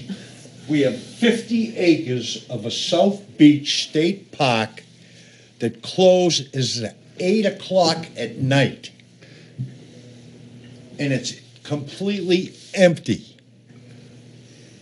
They closed the gates. The money that the state can make from the revenue by keeping that parking lot open till midnight, like they run their parking meters from eight in the morning to midnight, is phenomenal. The state's bleeding us dry anyways. They're taking everything, they take all our money, they give us nothing but headaches and baloney. And all of that land is sitting there doing nothing.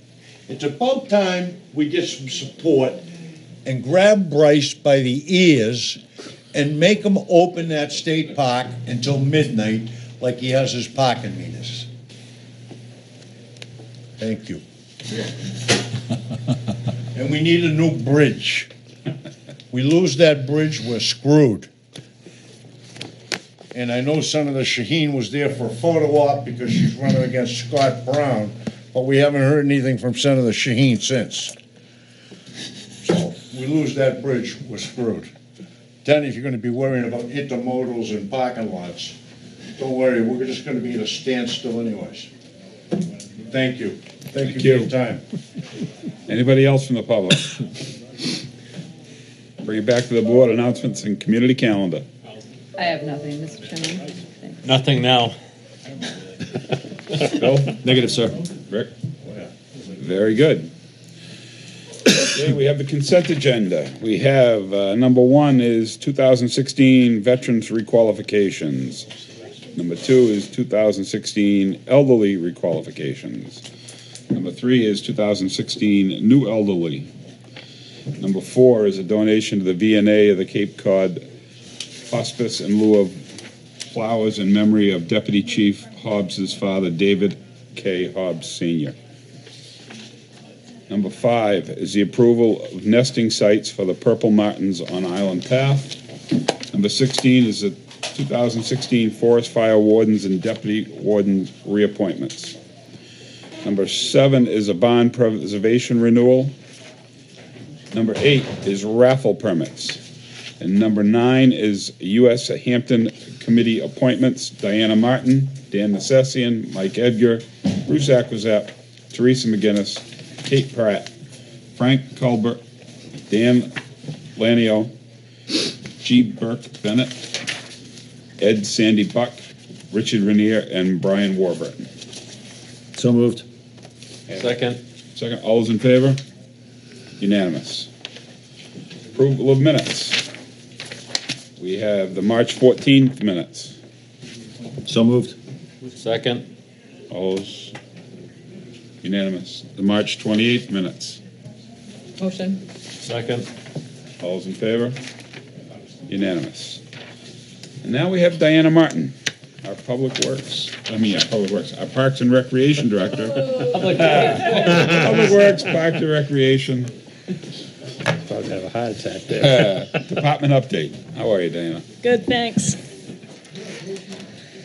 Okay, so speaking of parks maintenance, we've had two of our parks maintenance employees officially start the week of April 1st, and we're hoping to hire one more for the summer. TruGreen ChemLawn has started their applications at Tuckfield, Eaton Park, and other pocket parks around town with their fertilization tick and grub program. We aerated and seeded all the playing fields, and all the parks have been getting a general cleanup with all the barrels being put out again for the season. And the Youth Association had their um, spring cleanup this past Saturday. Um, We are in the process of ordering signs for the parks to replace signs that we have had damaged or older faded, like the skateboard sign, tennis court sign, stuff like that. We just received our bus back from getting the wraps out on them, so if you haven't seen it yet, it's out in the parking lot here. It actually, I think it came out really, really good. It's, it, you'll really see us coming down the street, so it came out good. We're working on the bid for the, for the one-ton truck and the Five Corners Playground, and most of them are, most of that's already done. Um, we're playing, preparing all the fields for play at Tuck and Eaton, as well as the tennis court nets just went up, and the basketball courts and the volleyball nets. That's all going up.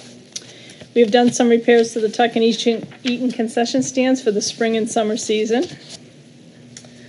Uh, the par- in the parking lots, the Ashworth Ave parking lot has opened up even earlier than last year. This year, the season of concerts seems to be getting longer.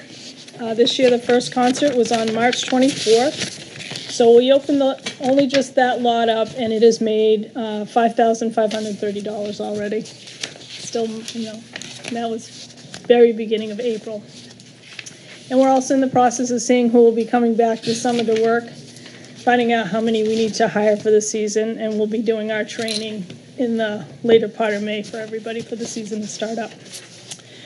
For recreation programs, we've scheduled the fields for use for this upcoming softball, baseball season, as well as scheduling for tennis. We have started the interviewing on summer camp staff, and we'll hopefully be finishing that up in the next few weeks. Our co-rec softball league and men's softball leagues are both starting at the end of this month, and most of the preparation for those leagues has been completed. The K through 2 sports program is wrapping up. We're in the final session, and there are only about six weeks left. We have set up all of our training for the camp staff when we have them all set. We had our biggest Easter egg dig yet this past March 19th. The weather was actually good. Last year it snowed on us while we were down there. This year the weather was good, and we buried 12,000 eggs this year. So we've seen the most amount of people we've ever seen this year. We had an Oxford casino trip on March 24th, and the next ones are April 21st, May 25th, and June 16th. We had a Parker's, Parker's Maple Barn trip on March 9th. That was full. Had, everybody had a great time there. The mystery trip is coming up this week on Wednesday. It's also sold out. We just completed a session of yoga class for kids. It's called Let's Get Moving Yoga. We have a New York City trip scheduled for May 21st. The price for that is $65, and that basically covers your ride to New York City. Our department bought Red Sox tickets for the 2016 season. We have two games that we purchased, but both of them are at Yankee Stadium. The dates are May 7th and July 16th, both those games. Well, this July 16th, I think we still have a couple seats, but the other is sold out. We've set up a number of summer programs and camps that are on the website and in our spring summer brochure. These include the Tuckfield Summer Camp, surf lessons, archery lessons, Challenger Soccer Camp, lacrosse camp, Lego robotics, junior golf program, sports conditioning prep training, theater camp, warrior basketball camp, flag football camp, and we're currently taking registration for all of them. We are, however, looking for instructors to run our tennis lessons and our Granite State track and field program. We've added a soccer program for the spring for ages two to five. It's called Mini Kickers, and it's become extremely popular, and almost all of the sessions are full. We've actually had to add sessions because the sessions we had were already full. We're taking registration for a luncheon trip for the seniors at DiMillo's in Portland and also a Freeport shopping trip to LL Bean. Excuse me.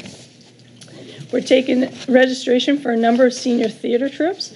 We have tickets to the North Shore Music Hall for a number of shows, including Funny Girl, Mary Poppins, Singing in the Rain, Monty Python, Spamalot, West Side Story, and A Christmas Carol. These can all be purchased separately for $65. And we have two shows booked at the Ogunquit Playhouse, and these include Seven Brides for Seven Brothers and the Million Dollar Quartet, and both of those shows are in the fall. Our annual, annual fishing derby is set for May 14th from 8 to 10 at Bachelor's Pond, and the event is free, but we hope that the residents will come to our office to pick up their fishing licenses.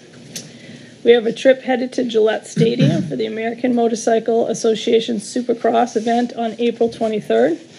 We'll be departing the Old Town Hall parking lot at 10 a.m. and the cost is $120 for residents. We'll be seated in section 134 for the event, and tickets are still available for that. We'll be taking a trip to Penn Dutch Country to see the hit show Samson.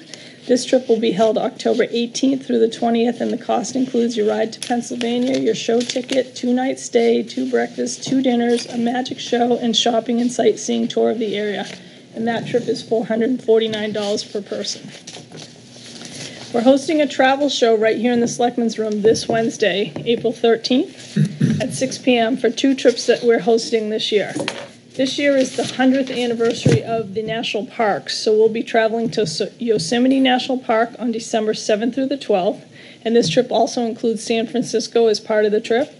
And a trip on November 14th through the 21st is called Canyon Country Adventure, which includes Sedona, Grand Canyon National Park, Monument Valley, Lake Powell, Bryce Canyon National Park, Zion National Park, and Las Vegas.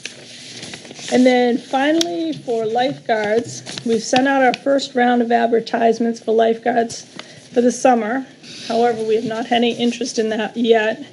So we're gonna continue to advertise, and I just wrote up a new advertisement actually stating what our salary is and all of that stuff that will be sent to UNH and a couple other places that we're hoping to uh, get some interest in the positions.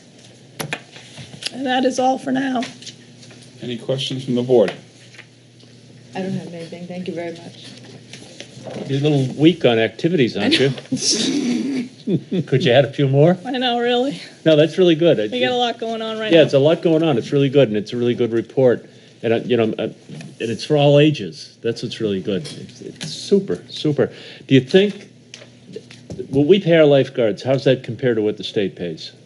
We just upped the price so, So- that in hopes of getting some lifeguards. I did talk with um, Brian Wilson from the state about a week ago, and I'm hoping to see him again tomorrow. I know I'll see him tomorrow, tomorrow but um, last time I talked to him, they were short 30 lifeguards still. Yeah, I saw that, that they're ad- advertising like crazy. So it's not just, a, it's not a very desirable job anymore, where it used to be a huge job that people like to have. Yeah, You know. yeah, it's, it's a shame. But good luck with that. Speaking of that, one other thing, I actually applied to the Melanoma Foundation, and I got two free screen, sunscreen dispensers.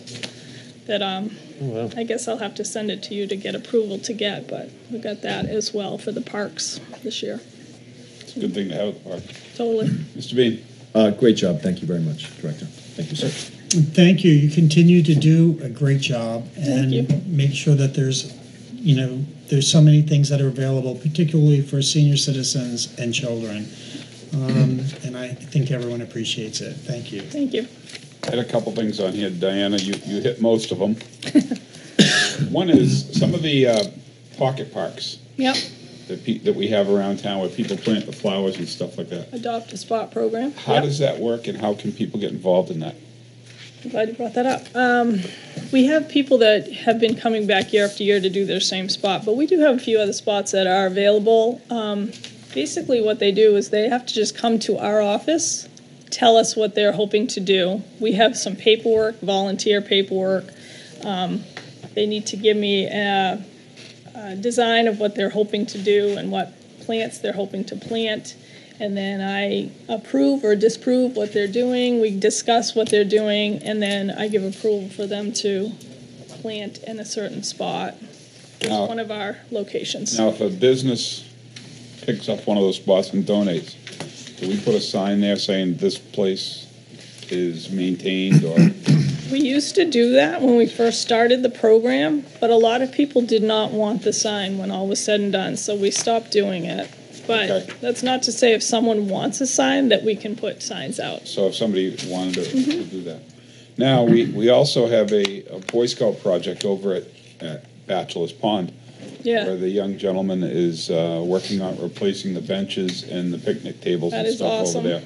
And so if somebody wanted to donate a bench, say in memory of somebody, how would they, it, it's, so it's hard to get a hold of the scout, but how, how's a way they could, could they contact your office? Yes, they would contact our office, and the procedure there, if anyone wants to buy a memorial bench, is to write a letter to, actually, talk to me first, discuss.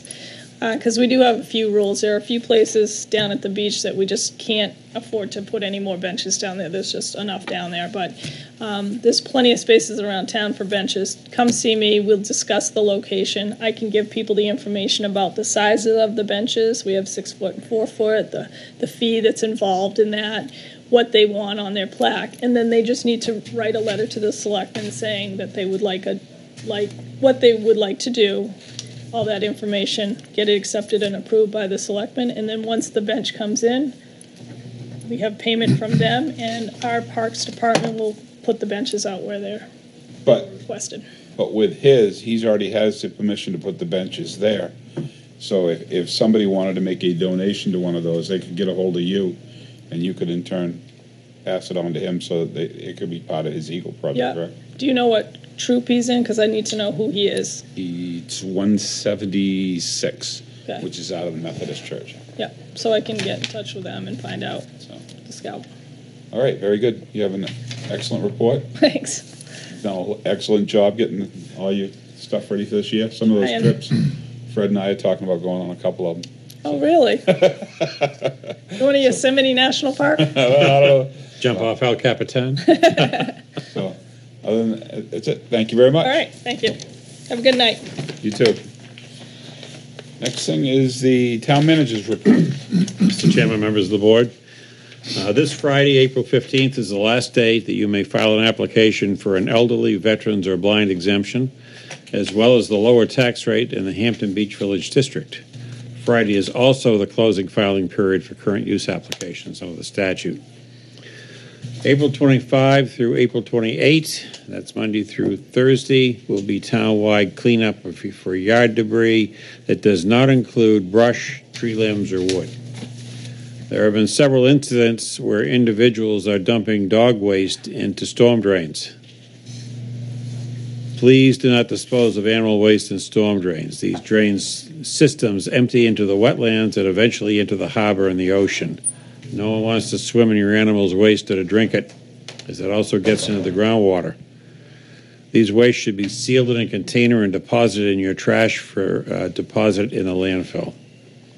Town departments have completed the submission of their long-range capital expenditures in rough draft form. We're hoping to complete the report for submission to the Board of Selectmen by mid-May. Town Clerk's Office has mailed cards to all owners of unlicensed dogs regarding the requirement to register their dogs for 2016. And, Mr. Chairman, we have a few other things. Um, Department of Public Works, um, I read a memo from them the other day. Uh, We're talking to uh, the towns of uh, Newcastle and Hampton Falls who had asked to be included in our Household Hazardous Waste Day, which town meeting approved this year. And we have a tentative date of June 4th. That's only tentative at this time. Uh, As soon as we confirm that, we'll let everybody know. We'll get the literature out so that, and put it on the website so everybody will know what's going on and what they can bring and what they can't bring, we- uh, that we can dispose of. But that's an important function. We're only going to have one. So it's important that people uh, staff up for that as soon as we get the notices out. We'll post that on Channel 22. We will. obviously, and We'll put it in every one of the mediums we have, as a matter of fact, because we want as much material as we can possibly get, get it out of circulation. Uh, Also, I received a letter dated April 4th, 2016, from the Department of Environmental Services. Uh, This came sort of through the back door, so to speak. It's a letter to uh, Aquarion Water Company of New Hampshire, uh, telling um, actually the town of Northampton that they're going to permit a Aquarion to dig through their town and stop providing water to uh, a subdivision in Stratham. So it appears that uh, from now on, we're going to be four towns that are going to be receiving water from uh, the water company. So, because there's, there's no public water on the, uh, on our side of Stratham. Uh, They're going to start servicing this subdivision because they're having problems with their private water system, which DES says has to be remedied. And the only way to do that is to, in fact, bring water in from outside. So that's what Aquarion's going to be doing. That is going to enlarge the service district, however. So we have to watch what's going on here, because otherwise our wicket charges are going to go up at some point in the future, and we all know that's a permanent rate increase. So we'll keep an eye on that. We'll keep the board informed about what's going on. I also had an email today from the uh, tax collector to tell us that her office is going to be closed on Wednesday, the 20th, so that she can uh, participate in the state's annual spring training for tax collectors, which she's required to do by statute. Um, there are two pieces of legislation that I think people should be informed of. Uh, the first one is the what's called the pole valuation bill. It's going to be heard tomorrow, Tuesday, April 12th at 9:30 a.m. in Senate Room 103 in the State House. Uh, that's an important bill, and uh, we have sent letters to uh, the members of the Senate Ways and Means Committee. Uh, there is a potential statewide for the loss of $18 million in taxable revenues for the support of schools, uh, not to mention taxable revenues for the support of the towns and cities in the state. So that, that is an important bill, and we have already asked the committee to uh, uh, kill that bill so it doesn't uh, doesn't get to the legislature and, and, and, and just ends where it is right now. The uh, bill was originally submitted, uh, and the claim was that the utility companies, the telephone companies, would drop all their lawsuits against the cities and towns. There are hundreds of them across the state. And once it passed the House, they said they didn't have any intention of doing that. They're in fact going to continue the lawsuits and um, go from there. So I don't know how that all runs up the line to, to make common sense, but that's what they're doing. Uh, there's also a bill um, that the committee recommended for funding, and uh, it passed uh, the House, excuse me, the Senate Technology and Energy Committees by a vote of 12 to 5. Uh, it's recommended for passage, uh, and it deals with the availability of up to $5 million in funding money for improvements to municipal buildings, county buildings, and state buildings for energy efficiency. So we'll have, be having department heads, if that's signed by the governor, look at those to see if we can't get some good money to do some further energy efficiencies in their buildings. That's it, sir. Okay. Any questions for the town manager? Mr. Bean? 1198, just to, to recap, uh, not to beat a dead horse, and it is a dead horse of a bill. Uh, It has been gilded with fiscal notes. I went up to uh, meet with Cordell Johnson and uh, Judy Silva, uh, and we are uh, formulating and will execute a procedure, standard operating procedure, with the good help of our town manager and the tax assessor, to uh, develop truth in lending, if you will, to these big corporations. Uh, and that's essentially what it is. Uh, this is a $300,000 hit on this utility tax, 1198, uh, to this town. And we will formulate that. We'll keep you posted. Of course, uh, Mr. Chairman, you knew I was going up there. I had your permission. And they are seeking to improve uh, the assistance of the town of Hampton to do this. Because as it goes forward now, how the game is played in Concord is that they say that the tax implications, the, the amount of the theft, if you will, uh, is indeterminable, and it's quite easily determinable. Uh, that hearing is tomorrow at uh, 9:30. Senator Stiles was in with uh, uh, another selectman here last week, uh, Selectman Waddell, to, to be briefed by the assessor, and it's it's imperative and it's it's very very crucial to our bottom line uh, that over the next 10 years we push back on this this highway robbery in Concord and it is highway robbery with 79E, with 1198, and with the pollution control exemption, which our delegation has not been able to uh, succeed in rolling back. It's $2 million out of our bottom line over the next 10 years. And that's $2 million that doesn't go to our infrastructure. That's $2 million that is taken out of our residents and in our taxpayers' pockets.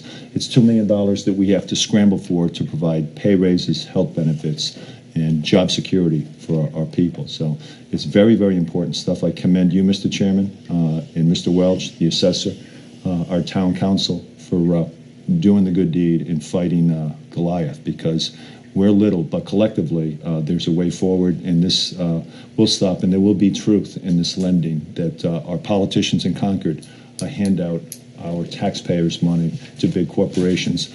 The sole recipient of this 1198 is Fairpoint has hundreds of million dollars of market cap in its stock. Its chief executive was paid two and a half million dollars last year. Its exo, if you will, its assistant was paid a million. And uh, it's patently un-American and patently unfair. And I'm going up tomorrow just to watch the, uh, the circus. Thank you.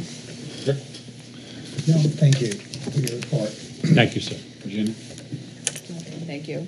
Thank you. Thank you. And I, I believe our assessor's going up tomorrow to speak also? Yes, sir, and I believe our town counsel is going up as well. Indeed. So uh, we will be represented, and you're going up tomorrow with that. to- Yes, sir. I'll probably be up there too. So hopefully we will be Jimmy well going up? represented. So, okay. Next thing we have is old business, policy for solid waste recycling collection from the condominiums.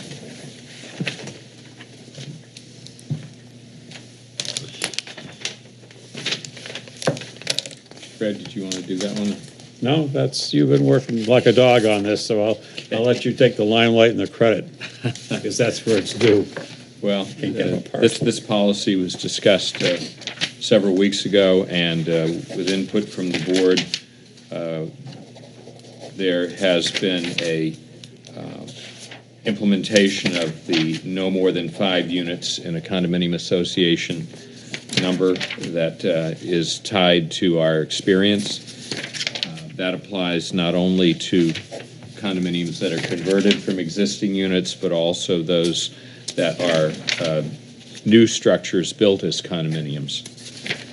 Um, An important addition to this policy since you last saw it is our Public Works Director's um, additions at the end under space limitations and safety, where uh, there will be, uh, for those that are going to be picked up by Public Works, a uh, sighting as to the spots where those carts are to be uh, located when they are picked up, which could be on the opposite side of the street, depending on uh, the parking configuration for a street, uh, to enable uh, mechanical packers to pick them up.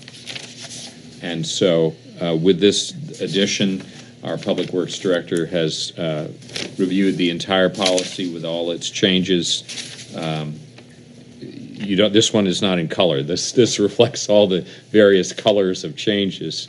And he's looked that over today. And uh, as you see his email, uh, he indicates, thank you for allowing me to review this policy before it proceeds to the Board of Selectmen. I am pleased that the policy includes the section regarding space limitations and safety, and therefore fully support the whole policy as written. Okay. Any discussion? So, so does this affect any, does it change any that is being done now? It- I'm, I'm unclear. No, a- and uh, there are, uh, for instance, there are some um, places where there are six uh, con- commercial units on the street and some of the new developments that are being picked up at curbside. I would- say this, uh, this policy is uh, a prospective policy, wouldn't you, Fred? I would, I, uh, Mr. Griffin sort of went through this as an explanation with the work of the Budget Committee, not Budget Committee, the Planning Board, uh, and it's in conformance with the explanation that, that he presented uh, with his work on the, uh, the Planning Board. So I think pretty much we're, we're solidly behind this. It's, it's something that will work well, and we'll just make sure that it does work well. Sounds good to me. There are a couple little spots where we have a apostrophe S under condominiums. We'll clean that up before it goes in the book. Okay. And just so, it- eh, you have anything? No, I'm, I'm okay with the changes. Good. Um, Bill? Uh, I'm with uh, Selectman Griffin on this one, sir. Okay, and I, I, and correct me if I'm wrong on, on the space and limitations for the safety. And I think what this has to deal with is some of the, some of the leaded streets at the beach. Uh, right now, we pick up on both sides of the streets, and this is something that they've looked at, something that, down there, I believe. They're beginning to look at that problem because we think we should, where those, the streets have no parking on one side, we would eventually like to get all those carts over to that side so that we can have the mechanical packers pick them up rather than having the, the, uh, the old packers pick them up. um, it's very difficult to get in between the vehicles to get the material. And so again, it's a safety, it's a safety issue. We're, we're keeping, you know, you know, you have people walking between cars and bumping cars and, and stuff like that. If we can pick them all up on the same side of the street, it'll be cleaner, more effective, more efficient, safer. And I, I, and so that's what he, this gives him the ability to look at that. It gives us the ability to set them up in such a way that they can go actually talk to the folks who are gonna put them out, tell them how they have to put out, how much distance there is needed between the individual carts, so it'll be a smooth operation. And then they'll assign them a spot on the street, uh, which is not, which is currently vacant. And they'll be able to use that to their advantage and, and get the carts out there. I, I believe that Chris is gonna come back to the board after he does some further analysis of the beach streets where we have parking on one side only, uh, and possibly come back with a request to make sure all the carts are on the no parking side, which would make the pickup much easier, because instead of making four trips down the street, we don't have to make two. People shouldn't expect to leave them out there all day. No, once they- they've been picked up, the ordinance says they should go out and take the carts back in the house, or back on the property. That was another thing with regards to this, and that is that we didn't want to see, because the planning board assigns specific spaces on, on uh, condominium properties and business properties where these carts have to be kept. We just didn't want to see them piled up someplace where someone would have to park or they'd lose a parking spot, or it would be next to a- an abutting piece of property, and there may be some odoriferous entertainment uh, in the air uh, with uh, these old carts out there sometimes when they're not quite clean enough. So we do encourage people to take the hose and clean them out, so. So do I have a motion to accept this policy? I'll make that motion. Motion by Rick, seconded by Second. Regina. All those in favor? Unanimous. Okay. All right. The legis, on the old business is legislation on providing Conservation Commission authority to dispose of limited property interest. Mr. Chairman, that was uh, related to a subject that this board uh, discussed in a uh, non-public session that uh, minutes were not sealed on the 28th, uh, having to do with the um, healthcare facility and the conservation easement. Um, Senator Stiles had initially sought to provide something by statute that the Conservation Commission does not have, which is some authority to dispose of limited property interests, but upon further reflection and uh, discussion, interaction with the Attorney General's office, uh, she has determined that she will not be putting that legislation forward. Uh, this was originally going to be part of a, a bill that dealt with some county issues that was going to be heard this Wednesday, and uh, some uh, authority would have been needed for anyone connected with the town to go up and testify for or against it. But now that that legislation is being withdrawn, we'll uh, brief the board on uh, other alternatives at a later date. Okay. Any questions? New business. The acceptance of a gift of Salt Marsh map 217 Lot 2 at the end of Landing Road. Brinkley parcel Yes, uh, to I the believe, Conservation Commission. I believe that uh, is uh, Binkley. Binkley. Yeah. Uh, Mr. Chairman, this is a parcel that is uh, 6.1 acres in size. It's primarily salt marsh. It's on the northerly side of Landing Road as you uh, go west after, right after the uh, Route 101. And uh, it is currently assessed at $600 in value.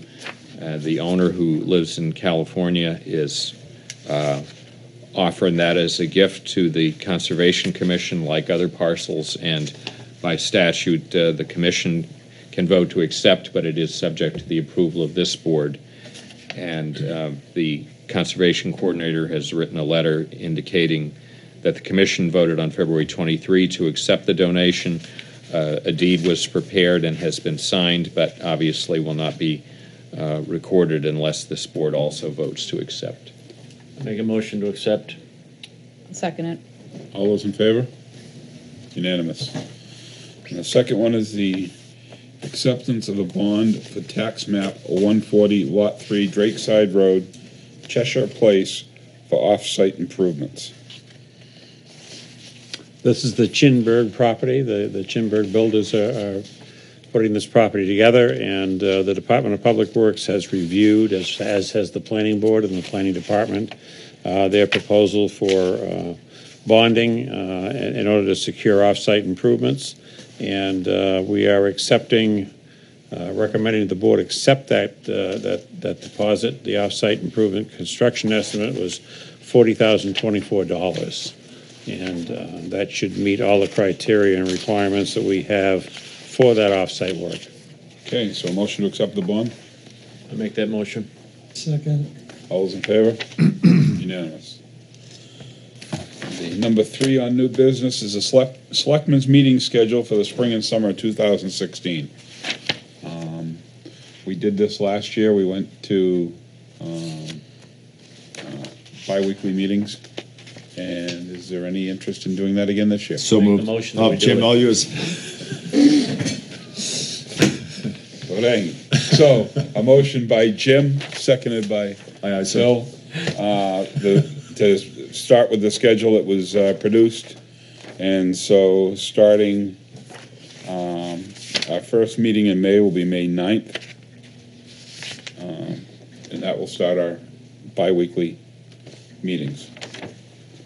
So, all those in favor? Unanimous. Mr. Chairman, I just have one thing. It's quick. It's quick. Yep. I just wanted to inform the board that um, I have been uh, communicating with a place. It's called Water Innovations Alliance. It's based out of Shelton, Connecticut. And I am going to be s- starting to join a roundtable biweekly, bi-monthly conference call with a group of water experts, uh, technology experts, and uh, it consists of corporations and also other municipalities that are dealing with water issues because pipes are rotting all over the country. So, and my actually, the founder of it is actually a friend of mine. So he's waived all the initiation fees and he's going to let me start sitting on the conference calls. So I'm just going to, beginning, I'm just going to sit there and listen. And I think we'll be able to get a lot of good information from it. That's good. So, so I wanted to let everyone know. Any other new business? Any closing comments? Make a Seeing none, adjourn. uh, we have a motion, we need a I'll motion to go second. into the non-public. Correct? I, No, we're all set? nope. Yes. Yes, we do. Yes. Okay, well, I'll let you. Make a motion to go into the non-public at twenty-one thirty-five. Motion by Jim, I need a roll call, seconded by Phil, Uh, we need a roll call. And the section was? Personnel matters. Personnel Okay, matters. RSA ninety, uh, ninety-one hyphen A, colon three, Roman two, small a. There you go. Phil, yay? Yes, sir, yay. Rick, Yay? I'm sorry. for- Yay, Thank you. yay. That's it, all that, thank you very much, have a good night. Thanks, you got a lot of writing to do tonight. I just wrote it.